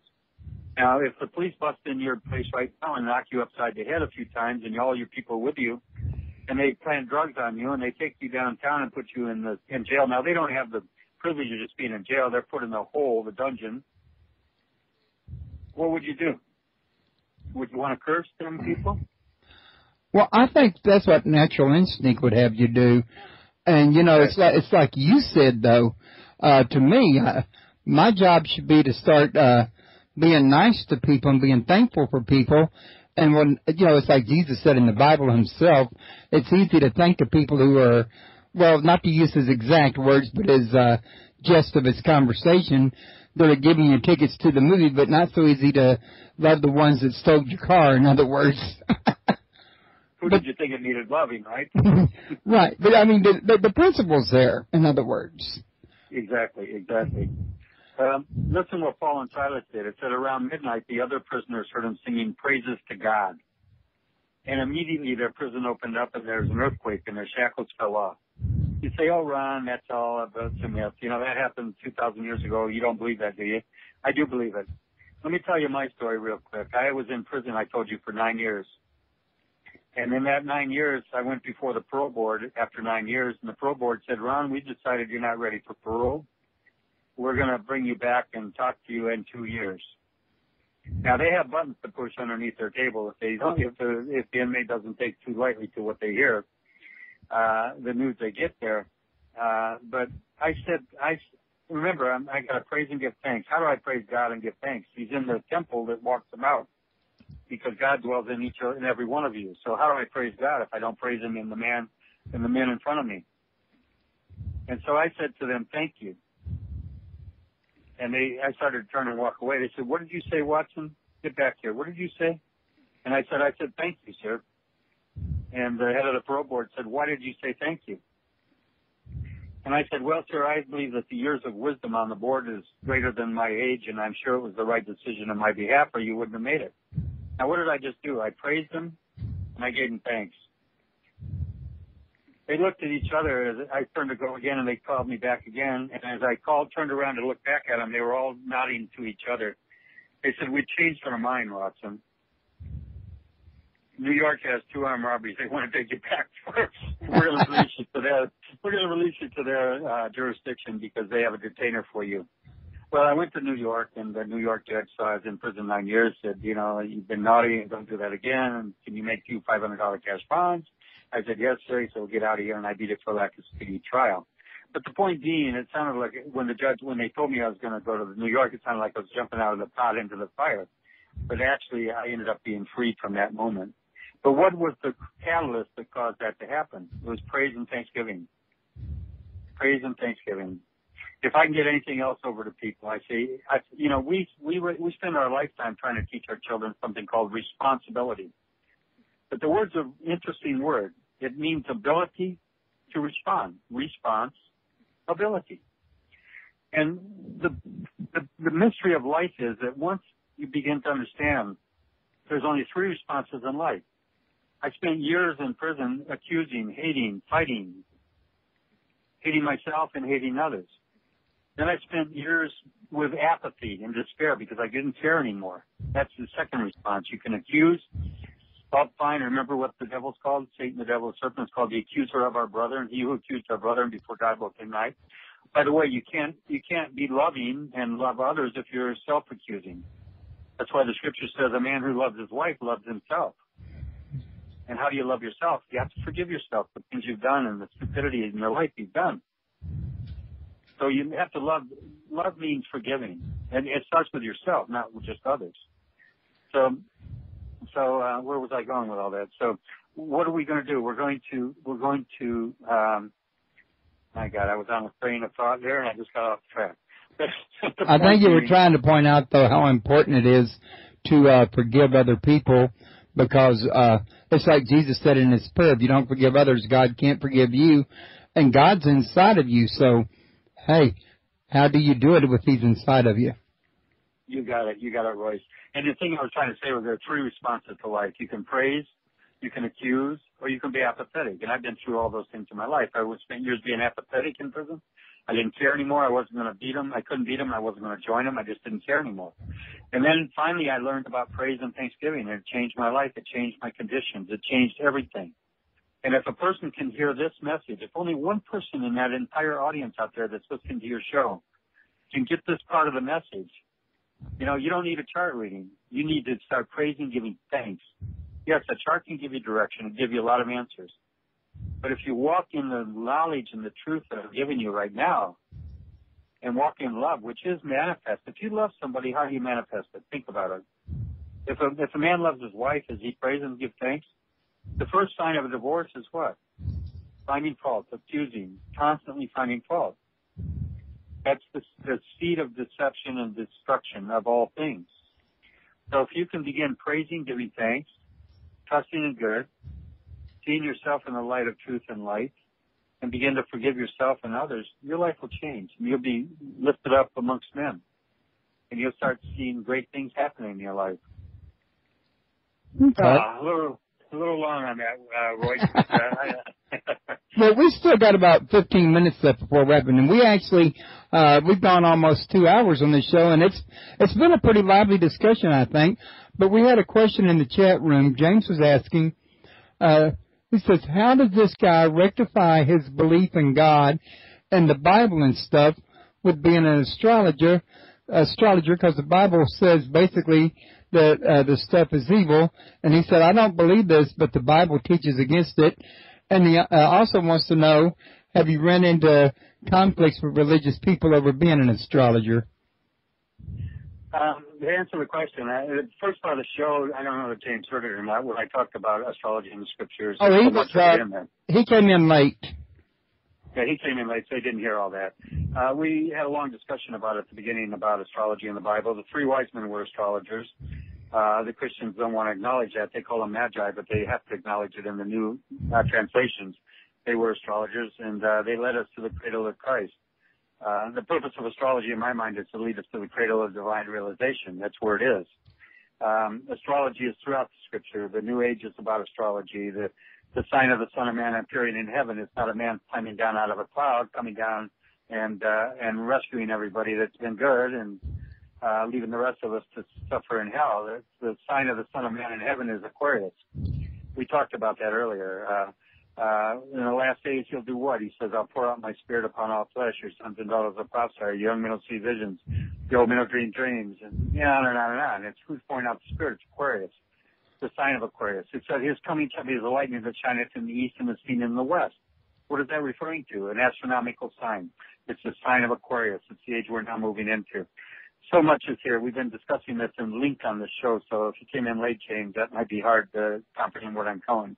As far as what other people think about me, um, you know, there's a saying I learned when I was a young man that I've never lost, and I've lived by it, and it's helped me out through a lot in life. I was in a restaurant with a beautiful girl that I had uh, went to a extraordinarily expensive uh, French restaurant, and I was in my early 20s, um, and and I was trying to impress this girl, and uh, I went way overboard and went to a place that I really shouldn't be in and couldn't afford. But it was one of these very fancy French restaurants with maitre d's everywhere, people putting footstools in front of you and giving you hot towels to wipe your face, and on and on and on. And uh, so I sit down in this beautiful restaurant, and the girl just sits there for a minute, and out of the, just out of the blue, she just starts throwing up. And it went out like a, I mean, like a hose all over the place. And it was pretty disgusting in a very high class restaurant for what happened. And the maitre d' came over to me, and he saw how disconcerted I was and how upset I was. And where my, you know, my embarrassment, he saw it right away. And he said something to me I've never forgot to this day as he cleaned up the mess. He said, son, he said, them that matter don't care. And them that care don't matter. And I've lived my life with that. You know, um, people, I, I'm very open about my past, I'm about my background, and people, if they have a hard time with it, that's their problem. You know, it's not my problem. You know, them that care don't matter. Them that matter don't care. And what I've learned in life is that, uh, you know, you know, you be true to thyself as must follow the day, the, the night, the day, thou canst then be false any man. I try to be as truthful as I can and be as honest and open about my life as I can because I came out of those experiences and who I am came out of those experiences and I'm thankful for them. So I don't know if I've answered your question or not, but, uh, you know, if you really want to know the truth about astrology and scriptures, read my book, The Greatest Story Never Told. You can get it on Amazon. Uh, it's by Ron Watson. It's my name. And, uh, I hope you'll read it, Jim. It'll give you great insights into the mysteries. Well, I got to tell you, Ron, I like your attitude because, you know, from my perspective personally, uh, I feel like, hey, a person has to be true to himself. It doesn't matter who agrees or doesn't agree, because in the end, if you can't be true to yourself, then you're not going to be true to God. And if you can't be true to God, you can't have a relationship with God, as He seeks people who worship Him in spirit and in truth. So I think it's important to be true to yourself. It doesn't matter if you're right or wrong. Let God tell you if you're right or wrong. You worry about being true. Well said. Well said. You know, when I was in prison um, uh, in Texas, I was in Texas. I was in several prisons, but I was serving time on the installment plan because when they caught me, I was wanted in seven states. Uh, but when I was in Texas, I was studying all these religions, uh, different ones: Seventh Day Adventist, uh, Jehovah Witness, uh, Catholicism. Uh, you know, anything that because inside prison, everybody's got a a mission, and that's to preach to those that are imprisoned. Okay, that's part of their ministry. And so I had access to a lot of books and different things, and I was reading everything, trying to find the answer. And one night after working out in the cotton fields all day, I was laying on my bunk, and my my cellmate was laying on the bunk below me. I was on the top bunk. And I'll never forget this experience. And I remember I set the book down on my chest that I was reading, and I just had a prayer. I was so fatigued by everybody claiming they had the only way to God, and everybody was wrong if they didn't believe like they did. And um, I laid the book down on my chest and I said a little prayer. I just I said, Lord, I'm so weary of this. I said, just give me a sign and I'll follow it. Tell me what which one's right and I'll go by that way, you know. And as I said that little prayer, the, I, I experienced something that was so magical and so powerful. It just transformed my life. The light came into that cell and it was so bright. And from, not only was there light, but I heard a word spoken to me but not only was the word spoken to me, I experienced the word. I felt it. It was it it, it filled my being, and the word was love. And um, the light was so bright in that cell, and I remember the scripture came to my mind immediately after that experience, and it said this: It says, "In this you shall know if you're my disciples or not, and that you have love one for another." And I remember looking down at my cellmate, and, and I didn't say anything to him. He said to me, he said, Watson, did you see that? And I said, what did you see? He said, didn't you see the light in the cell? And I said, yeah, I did. I said, did you notice anything else? And he says to me, yeah, Ron. He says, I feel really good. So whatever, it, my, my rational mind would have analyzed that whole thing and said it was just a subjective experience. But when he said, did you see it? And he felt it. I knew that what happened in that cell was real. It wasn't just a subjective experience. And uh, I mean, I remember him making a joke about, oh, they must have just burned somebody. You know, this is Texas State Penitentiary, and uh, of course they electrocute a lot of people there. But the lights don't go dim like in the movies. they have their own generators. Okay. But anyway, but I remember that comment and made a joke about it. So what I'm saying to you is that you know, James out there asked a question, you know, about uh, religion. I, I don't have any question with it anymore. I don't struggle with it. If someone comes to me with their belief that I'm going to go to hell if I don't believe the way they do, I say, look, at you know, this good book tells me this. It simply says, in this you shall know if you're my disciples or not. In that you have love one for another. I live by that. That's my philosophy. That's my belief. That's that's my theology. Everything else you can take it and do what you want with it. It's dogma. Okay, dogma. You know, dogma is spelled backwards. Uh, actually, I never thought about it. It's M God. The scripture says, "Know you not that you are God. God dwells within you. You're the temple of living God." The people that are most dogmatic have the hardest time with that scripture. Okay, that you am, the, I am God. That God is within me, not in some egotistical way, a messianic way, but in the truth way, and an understanding that you're the temple of the living God. You know, that He dwells in the temple. You know what's on both sides of you, up next to your eyes is your temples. The temples. Your temple. And within those temples dwells God. Anyway. You know, that's another interesting concept I never thought of before about the temples there. Uh, you know, everybody knows that the sides of your head is called the temples right there uh, on the other side of your eye, but whoever thinks about the uh, passage in the Bible and that and makes the connection. Well, read my book, my friends. I, I'll tell you something. Everybody out there, you want to read a book that will revolutionize your thinking. It'll wake you up to so many things that have never been revealed. Okay, and I mean that. Oh, so, I believe you know, that. I really do. So I've had, uh, you know, like I said, I'm not a scholar, and I'm not about boasting or something like that. But I can tell you this: two of the top scholars in the world. One of them is the Hebrew scholar, a Jewish scholar, uh, have written reviews. They're both in the book about this book and praised it. So, you know, I, all I can say is this, that it's out there if you want it, if you're really seeking, you're looking for answers. It's not another metaphysical book about positive thinking. It's a book that'll change your life. It'll change your whole approach to life. And it'll give you answers that will open doors of extraordinary, life-giving, loving experiences. Okay. So, Well, do you have any other things coming up in the near future that are you working on any other books or anything else you'd like to tell my listeners about? you know, I'm not working on anything else. I, I really want to see this book promoted and get get out there as much as I can because it's a, a message for mankind. And I, I really, until I started writing a book some years back called "What You Say Is What You Get," and um, and it turns out I lost the chapters of it, and I, when I was moving, and I never did find it. So I said that's okay. I wasn't meant to write it, I guess. But you know, I have one chapter in my book is basically that. It's on the word and how powerful it is, and what it can do to create or destroy your life. Once you begin to manage, manifest control over that, manage to control your words, stop cursing or accusing. And the real curses are not damn and hell.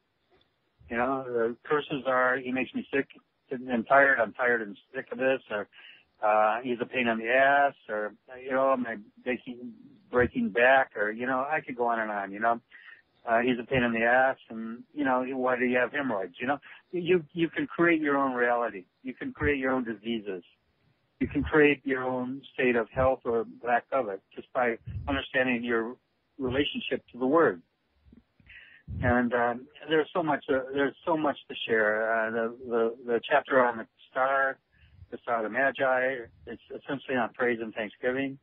Um, the chapter on the eyes and eye dilation, and um, and, and understanding how consciousness is reflected in the eyes. You know, the old days in uh, China, the old gem buyers used to go to China to buy stones and precious stones, and they could never understand. As soon as they saw a stone they liked, it seemed like the price always went up.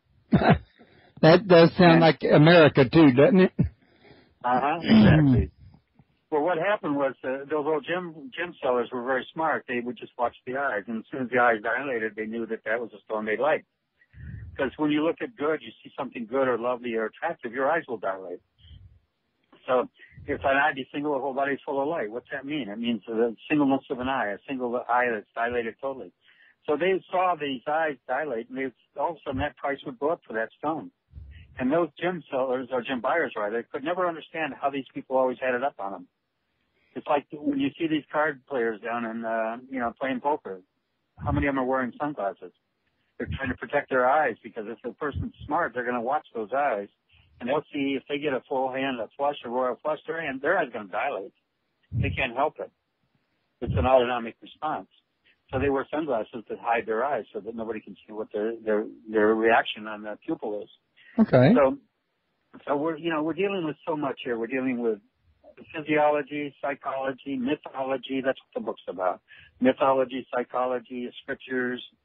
Uh, it, it deals with so many subjects. Each chapter itself is a subject of its own. It could live alone. And uh, I invite everybody to get a copy of it. You know, if you need my cell number, if you or I give you give my 800 number, you can call me anytime if you want to order a book, or you can get it through Kindle or through uh, Amazon. My phone number is uh, 800 382 4667. Uh, that's uh, toll free. 1 800 382 4667.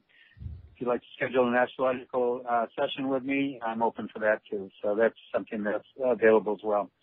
I also have uh, uh, CD albums that are available on different subjects, different lectures from astrology, mythology, and scriptures, uh, which is um, astrology in the Bible. I've got a CD on that, an hour lecture. I've got one called The Mystical Marriage and How to Find and Keep a Perfect Relationship in Your Life. And uh, it's called The Mystical Marriage. Um, and the other one is called uh, The Word is Made Flesh. It's actually called um, Guilt and Forgiveness. I've got uh, five and a six CD collections that are available as well. So anyway, we could uh, go on and on with this, but I, I hope that the listeners will get one thing out of this whole session, and that is that it's not important in life what happens to us. The most important thing is how you respond to it. And if I can teach you perfect response, I can teach you to change and transform your life. If you begin praising giving thanks for what you're now cursing and trusting in good and not believing in the lie and deception that you're being separated from good or God, your life will be transformed and you'll be changed in the twinkling of an eye. So, you know, the scripture says there's only one unpardonable sin. I remember reading that in the Bible and I used to think, God, I To hope I didn't do blaspheme the Holy Spirit. yeah, yeah. I just say, I hope I've done everything else. I haven't done this one. But you know, the unpardonable sin is this: the blasphemy is a cursor. The holy, the Holy Ghost is what it said. Blasphemy against the Holy Ghost, I believe. The Holy Ghost is, the Holy Ghost is integrated con- the subconscious mind. The Holy Spirit is the conscious mind. Okay, so the Holy Spirit would be uh, integrated conscious mind. The place where ghost visions and apparitions come from is the subconscious mind. I mean, if I hypnotize somebody and I put them in a trance and I tell them they're going to see a cat walking across the room, they're going to see a ghost of a cat and they're going to believe it's a cat. I remember in the Navy hypnotizing a guy and telling him that he was going to see seeing flying saucers to starboard on a ship on watch when I was in the Navy. And when he was up on the bridge serving his watch, guess what he did? He called the captain, set up the alarm. He saw flying saucers to starboard. I almost got a court martial over that. I thought it was funny, but they didn't. But anyway, so the point being is that's ghosts. Where do ghost visions and apparitions come from? The subconscious mind, the soul, or if you would, the Holy Ghost, a ghost. Okay? So the only unpardonable sin is the blasphemy against the Holy Ghost. The Holy Ghost meaning your subconscious. So what does that mean? If you curse the subconscious, if I put a seed, if I keep saying over and over and over again, he's a pain in the ass, and repeat it enough times, my subconscious gets that message. And the seed is planted, and it's unpardonable because it's going to produce a result. And the result's going to be pain in my rectum, quite frankly. It's probably going to be, be anything. It could be hemorrhoids to cancer. Or if I say I'm sick and tired of you all the time, I'm going to end up with those problems. So it's unpardonable because I can't feed in the Holy Ghost in the subconscious mind. What happens? It produces a result, one that I'm not too happy about. So, you know. All right. Well, I got to tell you, I'm glad you said what you did, but it really could lead into a whole nother discussion about the uh, difference between the Holy Ghost and the Holy Spirit. Because until you said that, I always thought that they were interchangeable, and that the ancients just used them interchangeably. I had no idea that they were actually referring to something different until you told me tonight. Well, you know, in my book, I have the the uh, the whole chapter on that. It deals with it. It's called the uh, the Holy Trinity and Man. It deals with the Holy Spirit, the Holy Ghost. The old days they called the Holy Spirit Ruach, and the Holy Ghost was called Nephesh. And the physical body was symbolized by the cross, which is where we suffer. Okay, so whatever the spirit or the soul was the same. The spirit was the Holy Spirit, if it's holy or integrated, and the uh, the soul was the Holy Ghost. You know, you, you know, you remember the, old prayer, um, if I shall die before I wake, I hope the Lord my soul to take. That's what goes on after you die. I've seen people lose their soul. They lost it. It's gone. They disappear. It won't stay party. It won't be party to what those people are about. And I knew people in prison that had lost their souls. They had no soul, no feelings, no compassion at all. That's what the soul's about. Okay? So, the scripture says there are three that bear witness in heaven. The Father, the Word, and the Holy Ghost. And these three are one. That's like saying, a psychologist saying there's, you've got a conscious and a subconscious mind, but they're really one. How do we separate them? They're one. But yet they are two. Okay? Mary said, she said, my soul doth magnify the Lord, and my spirit rejoiceth in God. Notice he refers to the difference between the soul and the spirit. Okay? So the Holy Ghost, the Holy Ghost is the soul. The Holy Spirit is the, is the conscious, conscious mind. Uh, the, the Word of God is quick and powerful and sharper than any two-edged sword, piercing even to the dividing asunder, dividing asunder of soul and spirit. That's scripture again, talking about that. And it also says to love the Lord your God with all your heart, all your soul, and all your mind, and love your neighbor as yourself. How beautiful. That is the sum of it all right there. You, you've summed up the whole message of this. And uh, there's one more thing I'll say to you, and that is that um, the scripture says this is what our jo- what our job is to do. Okay, when we talk about the soul and the spirit, listen to the scripture. Seeing you have purified your souls, again the subconscious, in obeying the truth through the Spirit unto unfeigned love of thy brethren. And notice what it's saying. You purify your souls by doing what? Obeying what truth? The truth is you know it. showing unfeigned love of your brother. What does unfeigned mean? Not fake. That's First Peter 22, 122. It said, you, seeing you purified your souls. I tell people they, they come to my sessions, my lectures, my workshops, and they say, you know, your real job in life is to purify your soul. There's a lot of crap's been put in there already, you know, sometimes by your parents. You know, you grow up with these things, you know. People put things in our subconscious mind because they're ignorant. Okay, they tell us things we wish we hadn't hadn't uh, bought as a as a child. I mean, it's like being around a doctor. It says, oh, you know, everybody's going to have problems at this time of age. You're going to have a lot of problems. I mean, it's a doctor and an authority figure. So what does the subconscious say? It buys into that, okay? Or your parents tell you things like, don't go outside without a coat, a coat on. You'll catch the death of pneumonia. Well, that's not true. But you have people tell their children these things, don't they? So we were brought up with a lot of incorrect information in our souls, in our subconscious. Our job is to purify it. People come to me. I've had. I was lecturing at the National Health Federation one time, and a woman in the back of the room, she raised her hand. She said, "Ron, I think that's all great, but how? I can't. What about all the stuff that's already put in my mind that I can't do anything about?"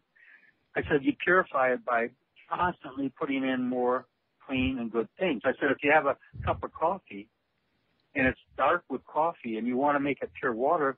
you can't take the coffee and separate it from the water, but you can keep putting pure water in that cup until it begins to what? Purify itself.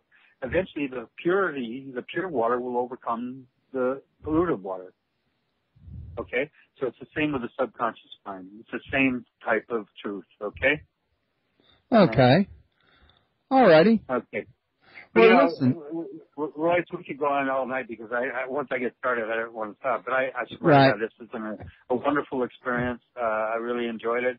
You're an amazing host. Uh, I've never had a host that uh, opened the door to so much communication from its uh, its guests as you did. And uh, I thank you so much. It's been a real pleasure and a real joy to be on the show with you. And uh, I hope your listeners got something from it. And uh, you know, it was fun doing the readings. Maybe someday we can just do a show on that and uh, concentrate on that instead of the other things. But it was a real pleasure, and I thank you. Well, I want to thank you for coming on to the show, and you've likewise been one heck of a guest. You've uh, actually opened my eyes to a few things, uh, a few concepts I hadn't put in quite the way that they were put to tonight, and I thought we made really good uh, chemistry together during this show. And I was going to ask you, would you be willing to come back in the future? Oh, of course I would. I would enjoy that very much. Alrighty. Well, it's seven minutes after now, so I kind of tend to agree with you. It's getting kind of late, and I got to get John off to school at least until about the next six or seven days when he gets out for summer. And I'm going to keep your information, and I'm going to stay in touch with you if that's okay with you. All right, Royce. Well, listen, thanks to the listeners as well for being there and listening tonight. And uh, it's been a real pleasure, and I, I look forward to a future uh, a future session with you. Thanks so much, Royce. Okay, Good you night. too now. Good night. Bye bye. Good night.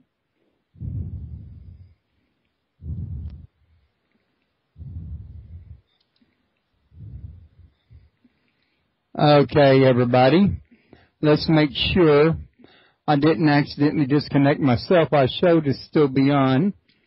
And um, real quick, like I want to remind everybody, UFO Day is coming up here July the second, I think it is. If you look on the right hand side in the upper corner, uh, you'll see World UFO uh, Day, uh, or yeah, icon there, logo there.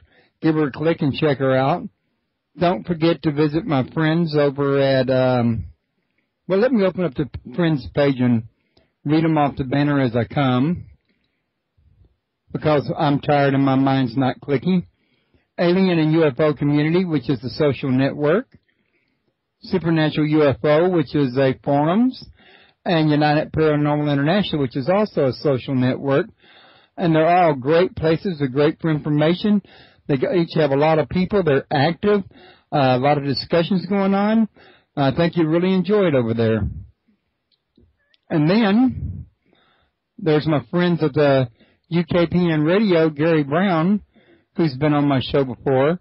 Jim Harold, the host of True uh, Stories Around the Camp, uh, Campfire, which has been on before. And then there's Micah Hanks of the Gralien Report, and he will be here this Saturday at 1 for his third time on my show. And I really recommend listening to the Gralien Report. Uh, is a good friend of mine, and he's a fantastic host, and he's a great author. I've actually read his book. It's very interesting. And then there's Ohio Exopolitics Radio with Mark Hamill, who is also a friend of mine, and I think you'll like the show if you stop by there. And don't forget to join us Saturday. Please tell your friends to stop by and check out the show and let them know that they sign up for free membership, they can get into the chat. And if we all work together, maybe we can get a bigger crowd in the chat room and have more chat going on. In the meantime, folks, I'm going to call it quits right there and go meet with my wife and get ready for bed. Thank you very much and have a good night. Oh, also, one more thing before I disconnect. I almost forgot. I want to thank everybody for listening. I couldn't have a show without my listeners any more than I could without my guests. And I want to thank y'all for your participation in the show. And I look forward to having more in the future. Thank you very much, and y'all have a good night. Now, um, I made many prophecies about the economics and them that are born in this generation are going to be brought to want, which is happening as you see it around you right now. Uh, all around the world, the economy is collapsing. I said that the currencies would collapse around the world, and they are. Um, you know, and I've been some of these predictions. I remember my wife, who I've been married to 22 years, uh, who's from Moscow, and she used to say, "Oh, Ron, I, can't, I just don't believe that thing about you know the, America. It can't be. You know, America is a great country, and I don't see how it could, um, you know, be brought to its knees economically." And um, unfortunately, um, I I'm getting to a point where she's beginning to see it and uh, and see the reality of it. And but you know, there's so much here. I I don't want to get long-winded on it, but uh, I mean, I'm very evangelical about it. I think that uh, the people have a right to know the truth. Um, I know that um, I do know that when I wrote my book, uh, I had even when I talked about in the, in the last days when we talked about knowledge shall be increased in those days. Who would have known? Who would have known the instant access to knowledge that everyone has today? I mean, if you look at this as Aquarius as I know is the key word We've been in, I believe, for the last 2,000 years, which is the sign of Pisces, the belief age. And so we've had believe in the Lord Jesus Christ and thou shalt be saved. All things are possible in them that believe. You know, belief, belief, belief. It's all been for the last 2,000 years. Water baptism, which is Pisces, a water sign. Fish Friday, the sign of the fish, Pisces. Uh, um, the um, uh, 12 disciples, the 12 sign Pisces. The uh, uh, fishers of men, which the disciples were called. That's all Piscean. Uh, uh, anyway, we could get into all that. But the, the thing is, Aquarius, who would have ever thought, even when I was writing my book in the 70s, uh, who would have thought that when it said knowledge shall be increased in those days, that anyone can get on a computer today and even on their little smartphone and access any kind of information instantly. Within a millisecond almost, they can find any kind of information about anything there is. They can find knowledge on any subject that exists. And uh, who would have known that could happen in this day and age? I mean, it's amazing when you think about it that that evolvement, uh, the access to knowledge, has come so far in just a few a couple of decades, really. Right. And uh, what you know, and we're heading for even better things. So in terms of that, the problem with knowledge is uh, it's not always combined with wisdom. There's a you know, knowledge is proud it knows so much. Uh, wisdom is humble it knows so little. And knowledge can be a hurtful thing as well as a good thing. So let's let's hope that that's true. To good use. That's exactly the key too, is the use of it. Well, listen, my wife is one of the people in the chat room wanting to know if you're going to be doing any readings because she wants one. And also, in addition to that, I was wanting to bring up to you because what you said about the uh, water bearer a minute ago is that I'm familiar with some work by, I think her name was Akira Smith, and also uh, Malik Jabbar and a few others. The, there was an old, old writer that is also, uh, I want to say his name was Kelsey or something, that has done work on the uh, birth of Christ and its uh, astrological symbology uh, that was really meant. And the thing always ends. Up- I, I I was one of these young people that thought I knew it all, and um, you know I, I'd read in the dictionary it's a pseudoscience, so of course I just wrote it off as being nothing to it. But that put me on the journey, Royce, and that's where I stayed for nine solid brutal years. I studied. I had a captive clientele. Nobody went anywhere.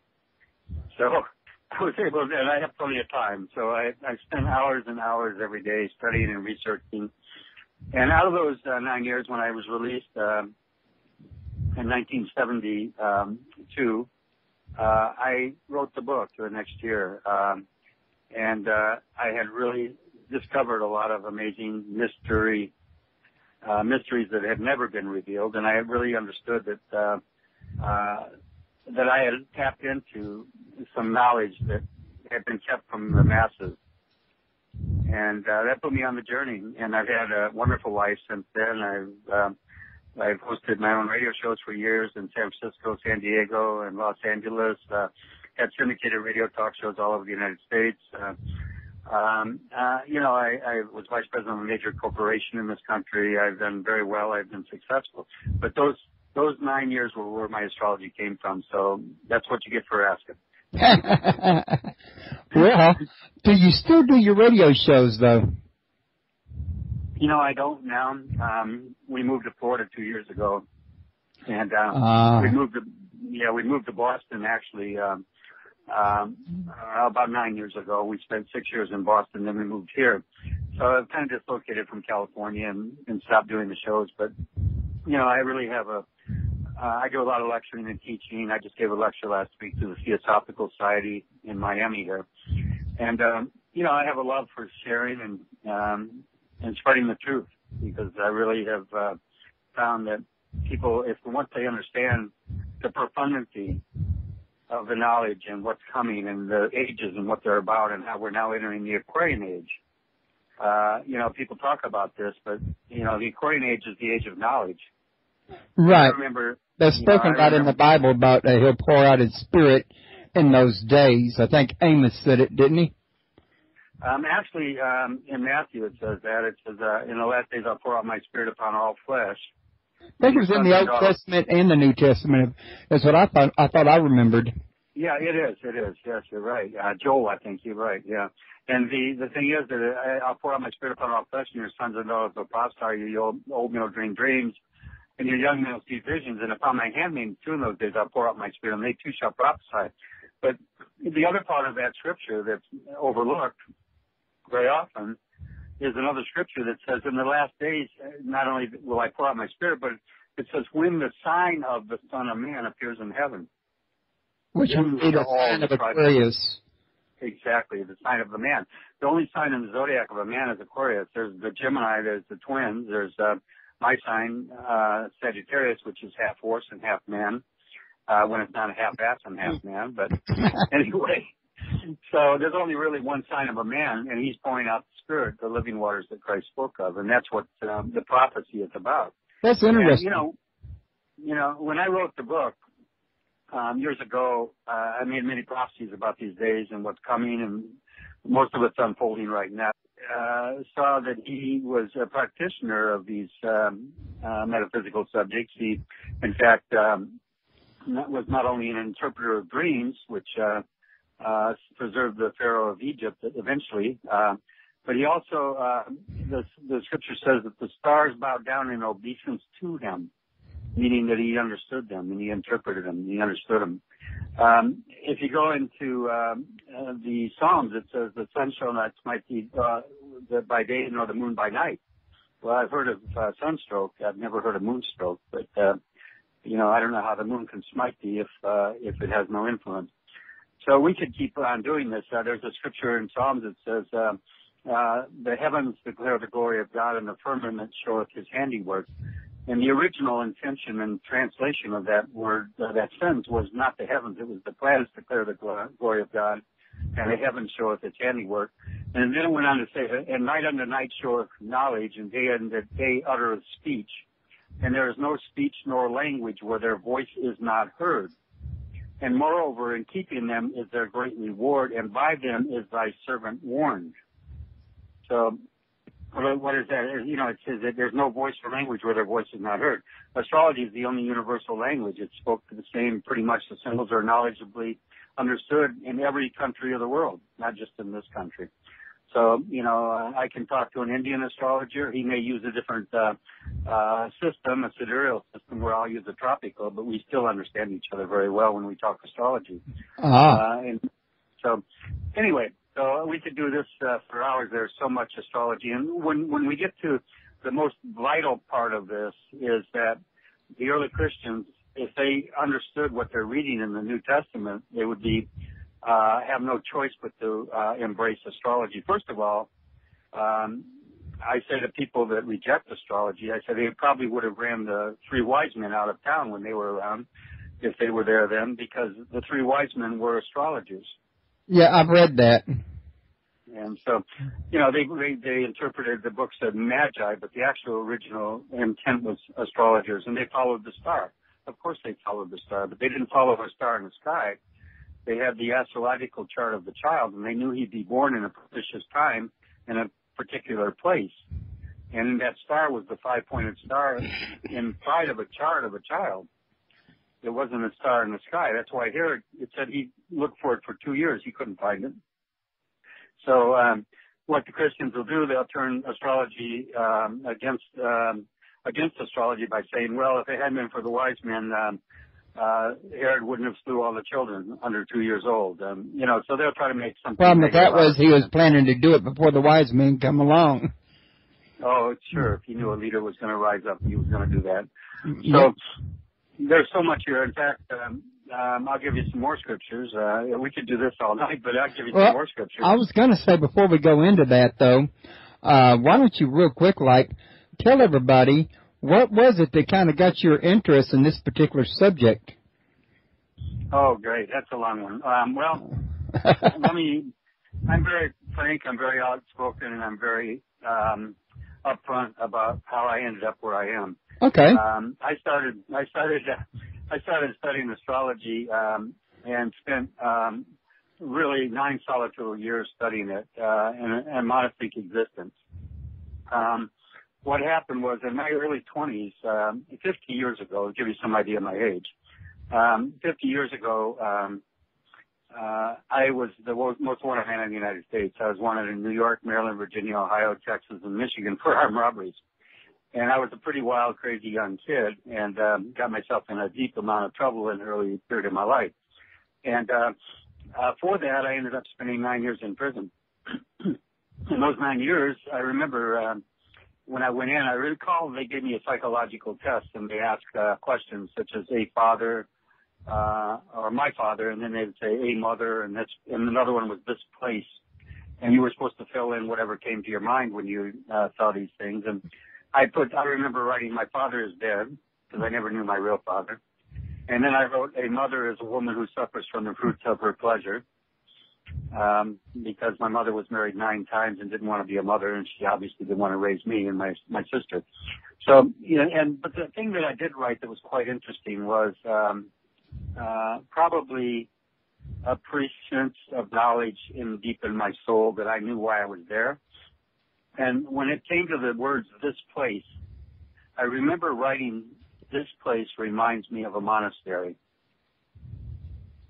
So I think in my deeper soul of my being, even though I had no religious concepts or thoughts of religion, I was pretty much a, I don't know, as agnostic or atheistic, it doesn't matter, but I, I surely didn't have a belief system that mounted anything.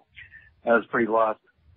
Um, but I must have at some point in my being known that this was going to be a monastic existence for me and that it was going to serve a larger purpose uh, than it was just to go to prison. And so I spent nine years in prison. And during those years, um, I studied astrology. Um, I didn't start out that way. I I went in there, and there was a um, there was a beautiful black man named Percy John Newton who um, did my chart, and he knew so much about me. I was just shocked. I couldn't believe anybody could do that with a chart. And, uh,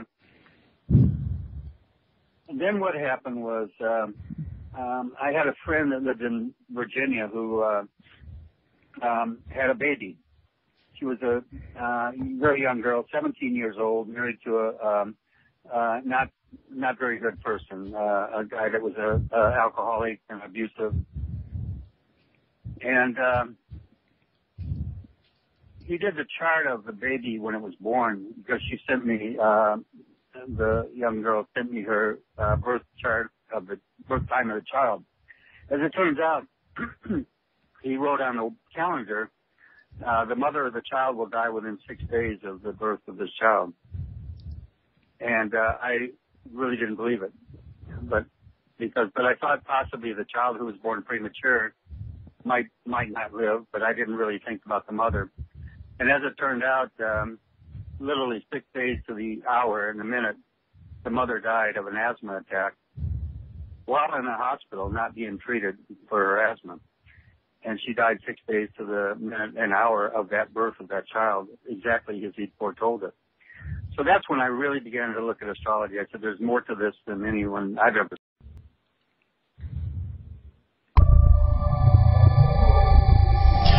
Welcome to Paranormal Palace Radio, where truth equals reality, and truth is often stranger than fiction. Hello, everyone. Welcome to Paranormal Palace Radio. This is your host, Royce the Redneck uh, Radio Man. And joining me today is Mr. Ron Watson, and we're going to be discussing his book, The Greatest Story Never Told. And this book really caught my attention over on Amazon uh, when I was reading the description of it because it goes into detail about a lot of things about the early church that's not exactly common knowledge that I've done some research on myself and I know that he's right about this and it's stuff that it's a, what's a favorite topic of mine and I always love to give anybody that knows something about this a chance to come out here and share and I've also seen a YouTube video of the man and it really impressed me. It was either YouTube or one of the other videos. I can't remember which because when I saw it, it was like a month or two ago when I first scheduled him uh, my show being scheduled two months in advance at the minimum right now for, uh, I can forget a video between now and then. Um, but why don't we introduce him and let him tell us what got his interest in this? And the man's also in astrology, and I'm not certain if he planned on doing any uh, readings or uh, anything of that nature tonight. Uh, but if somebody calls in, you can always ask and see what he says. So, Ron, I want to thank you for coming to the show tonight. It's a real pleasure to meet you and have you here. Well, it's my pleasure to be there, and uh, I really thank you for inviting me. And um, I look forward to a lively discussion on the subject of the book and uh, astrology, mythology, and scriptures. Essentially, that's what I um, lecture and teach on.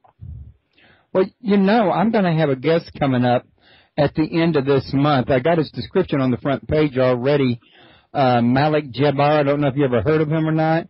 I'm not even sure if I'm pronouncing his name correctly, and if I'm not, I hope you don't get mad at me. But he's got some books out that talks about um, the astrological foundation of Christianity. So I didn't know maybe you um, had some knowledge in that part of it too, as well.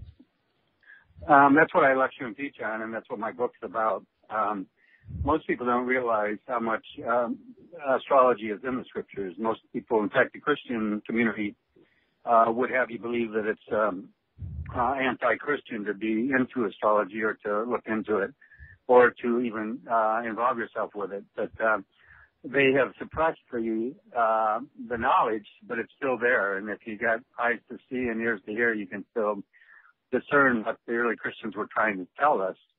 Um, I can give you some simple scriptures that uh, can make that clear. Um, in the Old Testament, it said the stars in their courses fought against Sisera. Now, Sisera was a captain in the army, uh, and he lost the battle. Now, I, I, I don't know how you can write something such as the stars in their courses fought against him if they have no influence. Um, in Genesis, it said that he created the sun, the moon, the stars for signs and for seasons, not just for seasons, but for signs and for seasons. Uh, Joseph, um, his brothers hated him so much uh, because uh, uh, they they